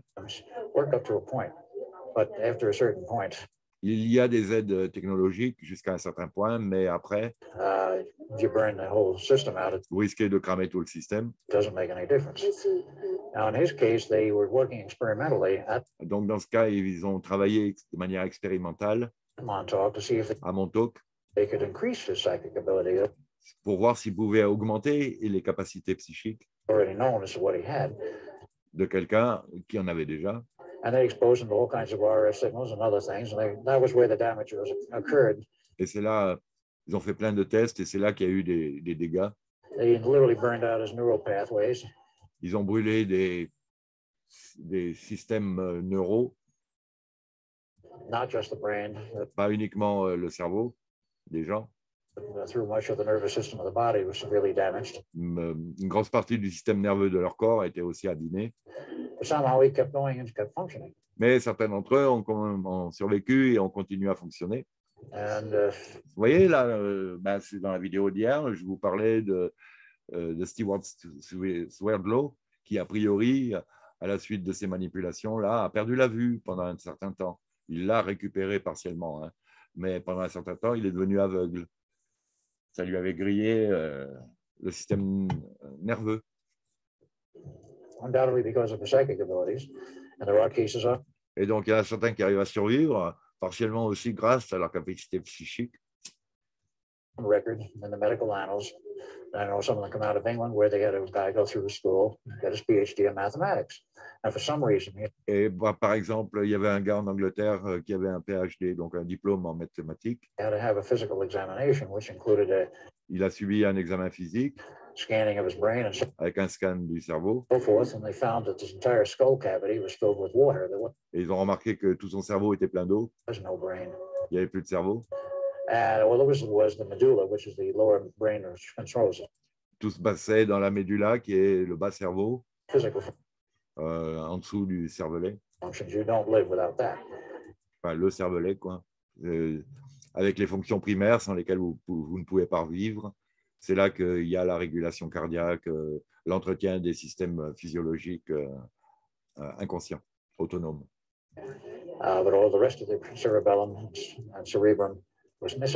Mais par contre, tout le reste de son cerveau manquait. Il s'était remplacé par de l'eau. Ils n'arrivaient pas à y croire parce que le gars, il était bon en maths quand même. The guy was functioning in a perfectly normal manner. Nobody knows how he did it. He didn't know. Il ne savait pas comment il faisait. Et il faisait. En quart, parce que votre conscience, elle n'est pas dans votre cerveau. Mais que là, il y avait suffisamment de reste pour que la conscience euh, puisse euh, euh, interférer avec le corps via ce qui restait. What? You didn't know that he had any deficiency of brains? Lui, il ne savait même pas qu'il avait des déficiences cérébrales. He certainly made his mark in going through school. So there are a lot of strange aspects about the physical nervous system, the brains and such, which are not fully understood. Mais enfin, bon, il y a encore beaucoup de problèmes, il y a encore beaucoup de sujets à comprendre autour du cerveau. On est en 97. Hein. À l'époque, ils n'avaient pas encore fait euh, les, les cartes cérébrales et d'ADN euh, et tout ça. Hein. Enfin, officiellement, quoi. He would say that the intelligence and wouldn't just in your brain, but you have somewhere maybe in your well, maybe your cells or DNA. Or... Yeah. Those aspects which are not fully understood. One of the, Donc, il y a plein d'aspects qui ne sont pas encore compris. One of the main aspects is if you are subjected to mind manipulation, such the first thing they want.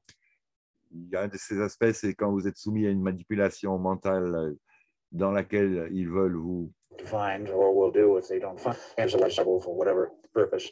They will desynchronize the right brain. Il va vous amener à une certaine tâche, il désynchronise les deux hémisphères. Most people send more population do not have well known medically, but they don't talk about it. They talk about right brain people, left brain people for that reason. One predominates over the other. En général, on a un hémisphère qui prédomine sur l'autre.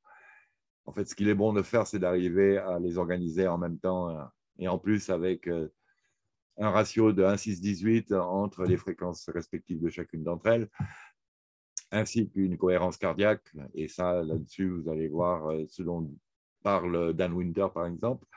Et c'est le moment où vous pouvez percevoir par, on va dire, le troisième œil et voir par l'esprit, sans limitation ni de distance ni de temps, c'est ce qui permet à des enfants aveugles de lire des bouquins qui sont sous leurs yeux ou dans la pièce d'à côté ou qui étaient dans la pièce d'à côté hier ou qui y sera demain. Ouais, le gars, il lit le bouquin qui sera demain dans la pièce. Et il est aveugle. si, si.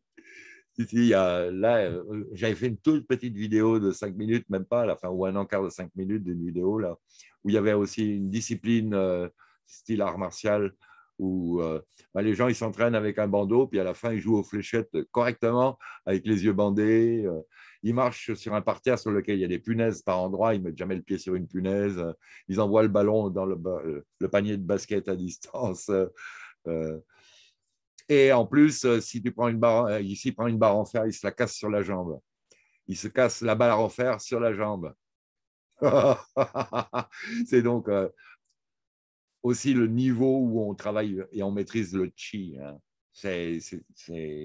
on est dans, dans ces ambiances-là, on va dire, globalement. Là. Mais je ne suis pas précis du tout et m'en voulez pas, hein, parce que ça, ce n'est pas des encarts qu'il faudrait que je fasse. Là, c'est des mois de vidéos. Reprenons. Donc, en général, les gens, ils n'ont pas les hémisphères synchronisés.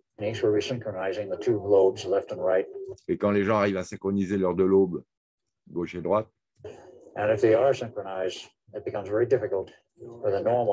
il devient alors très difficile de faire une manipulation comme d'habitude ou un contrôle mental. Ça ne marche plus. Uh, hypnosis may still work. I don't know. L'hypnose pourrait continuer à marcher, je ne sais pas.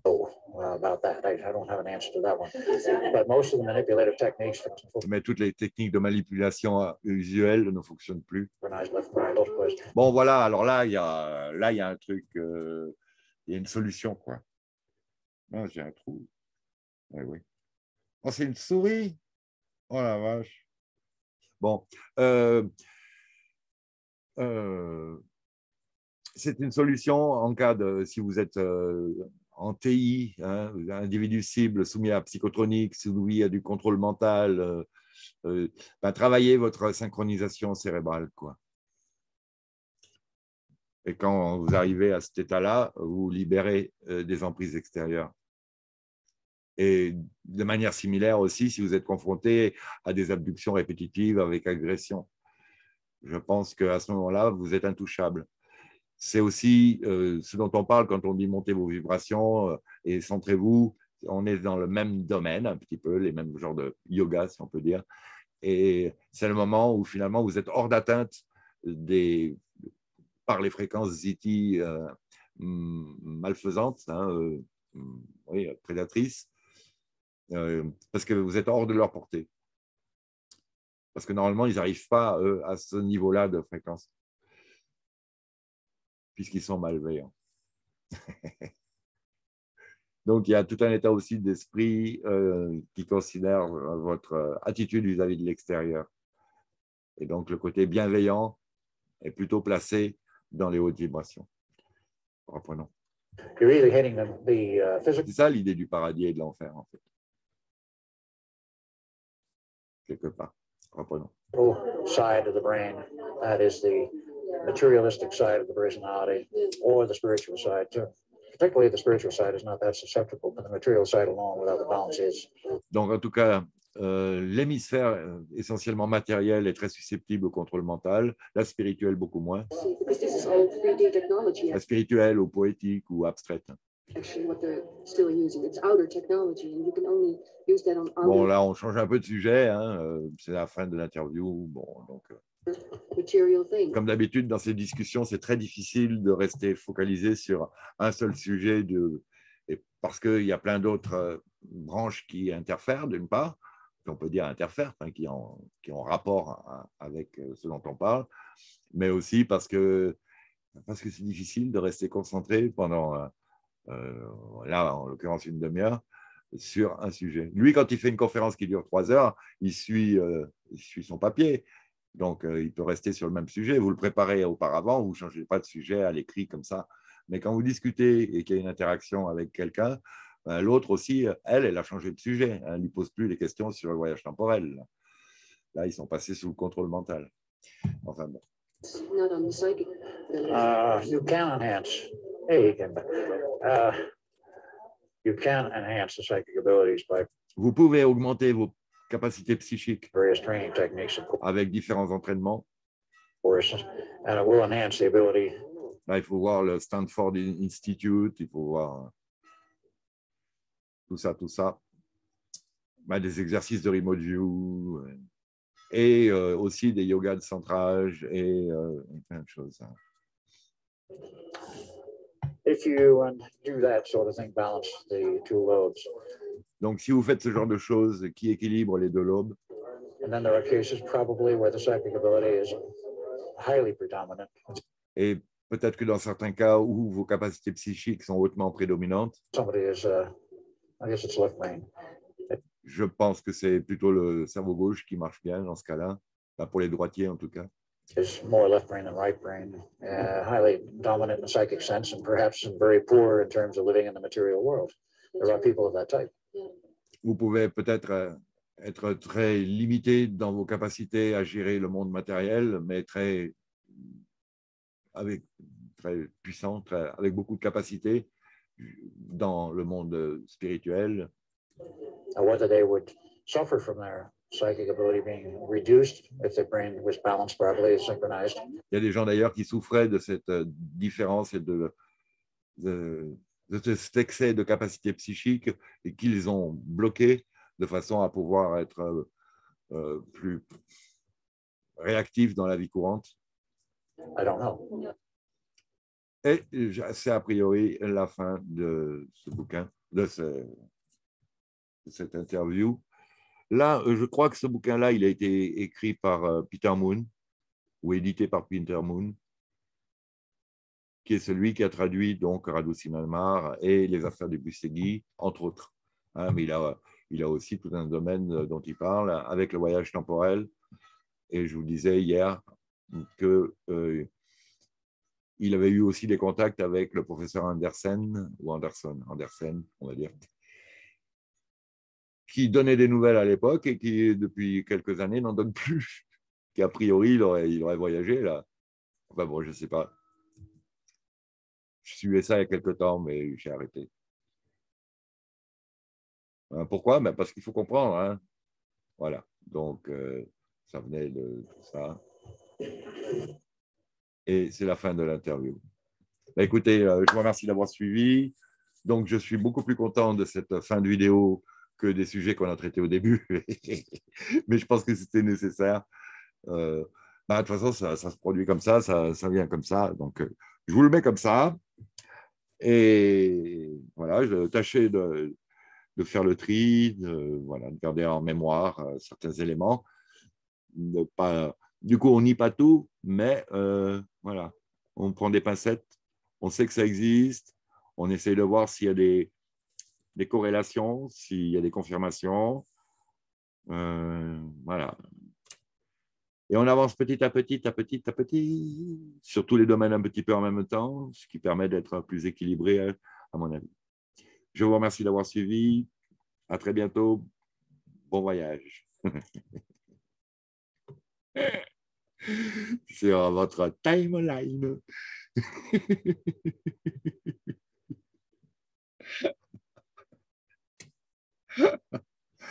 oh là là. on va s'en sortir, vous en faites pas. Quand, où, on verra. Bon, allez, salut.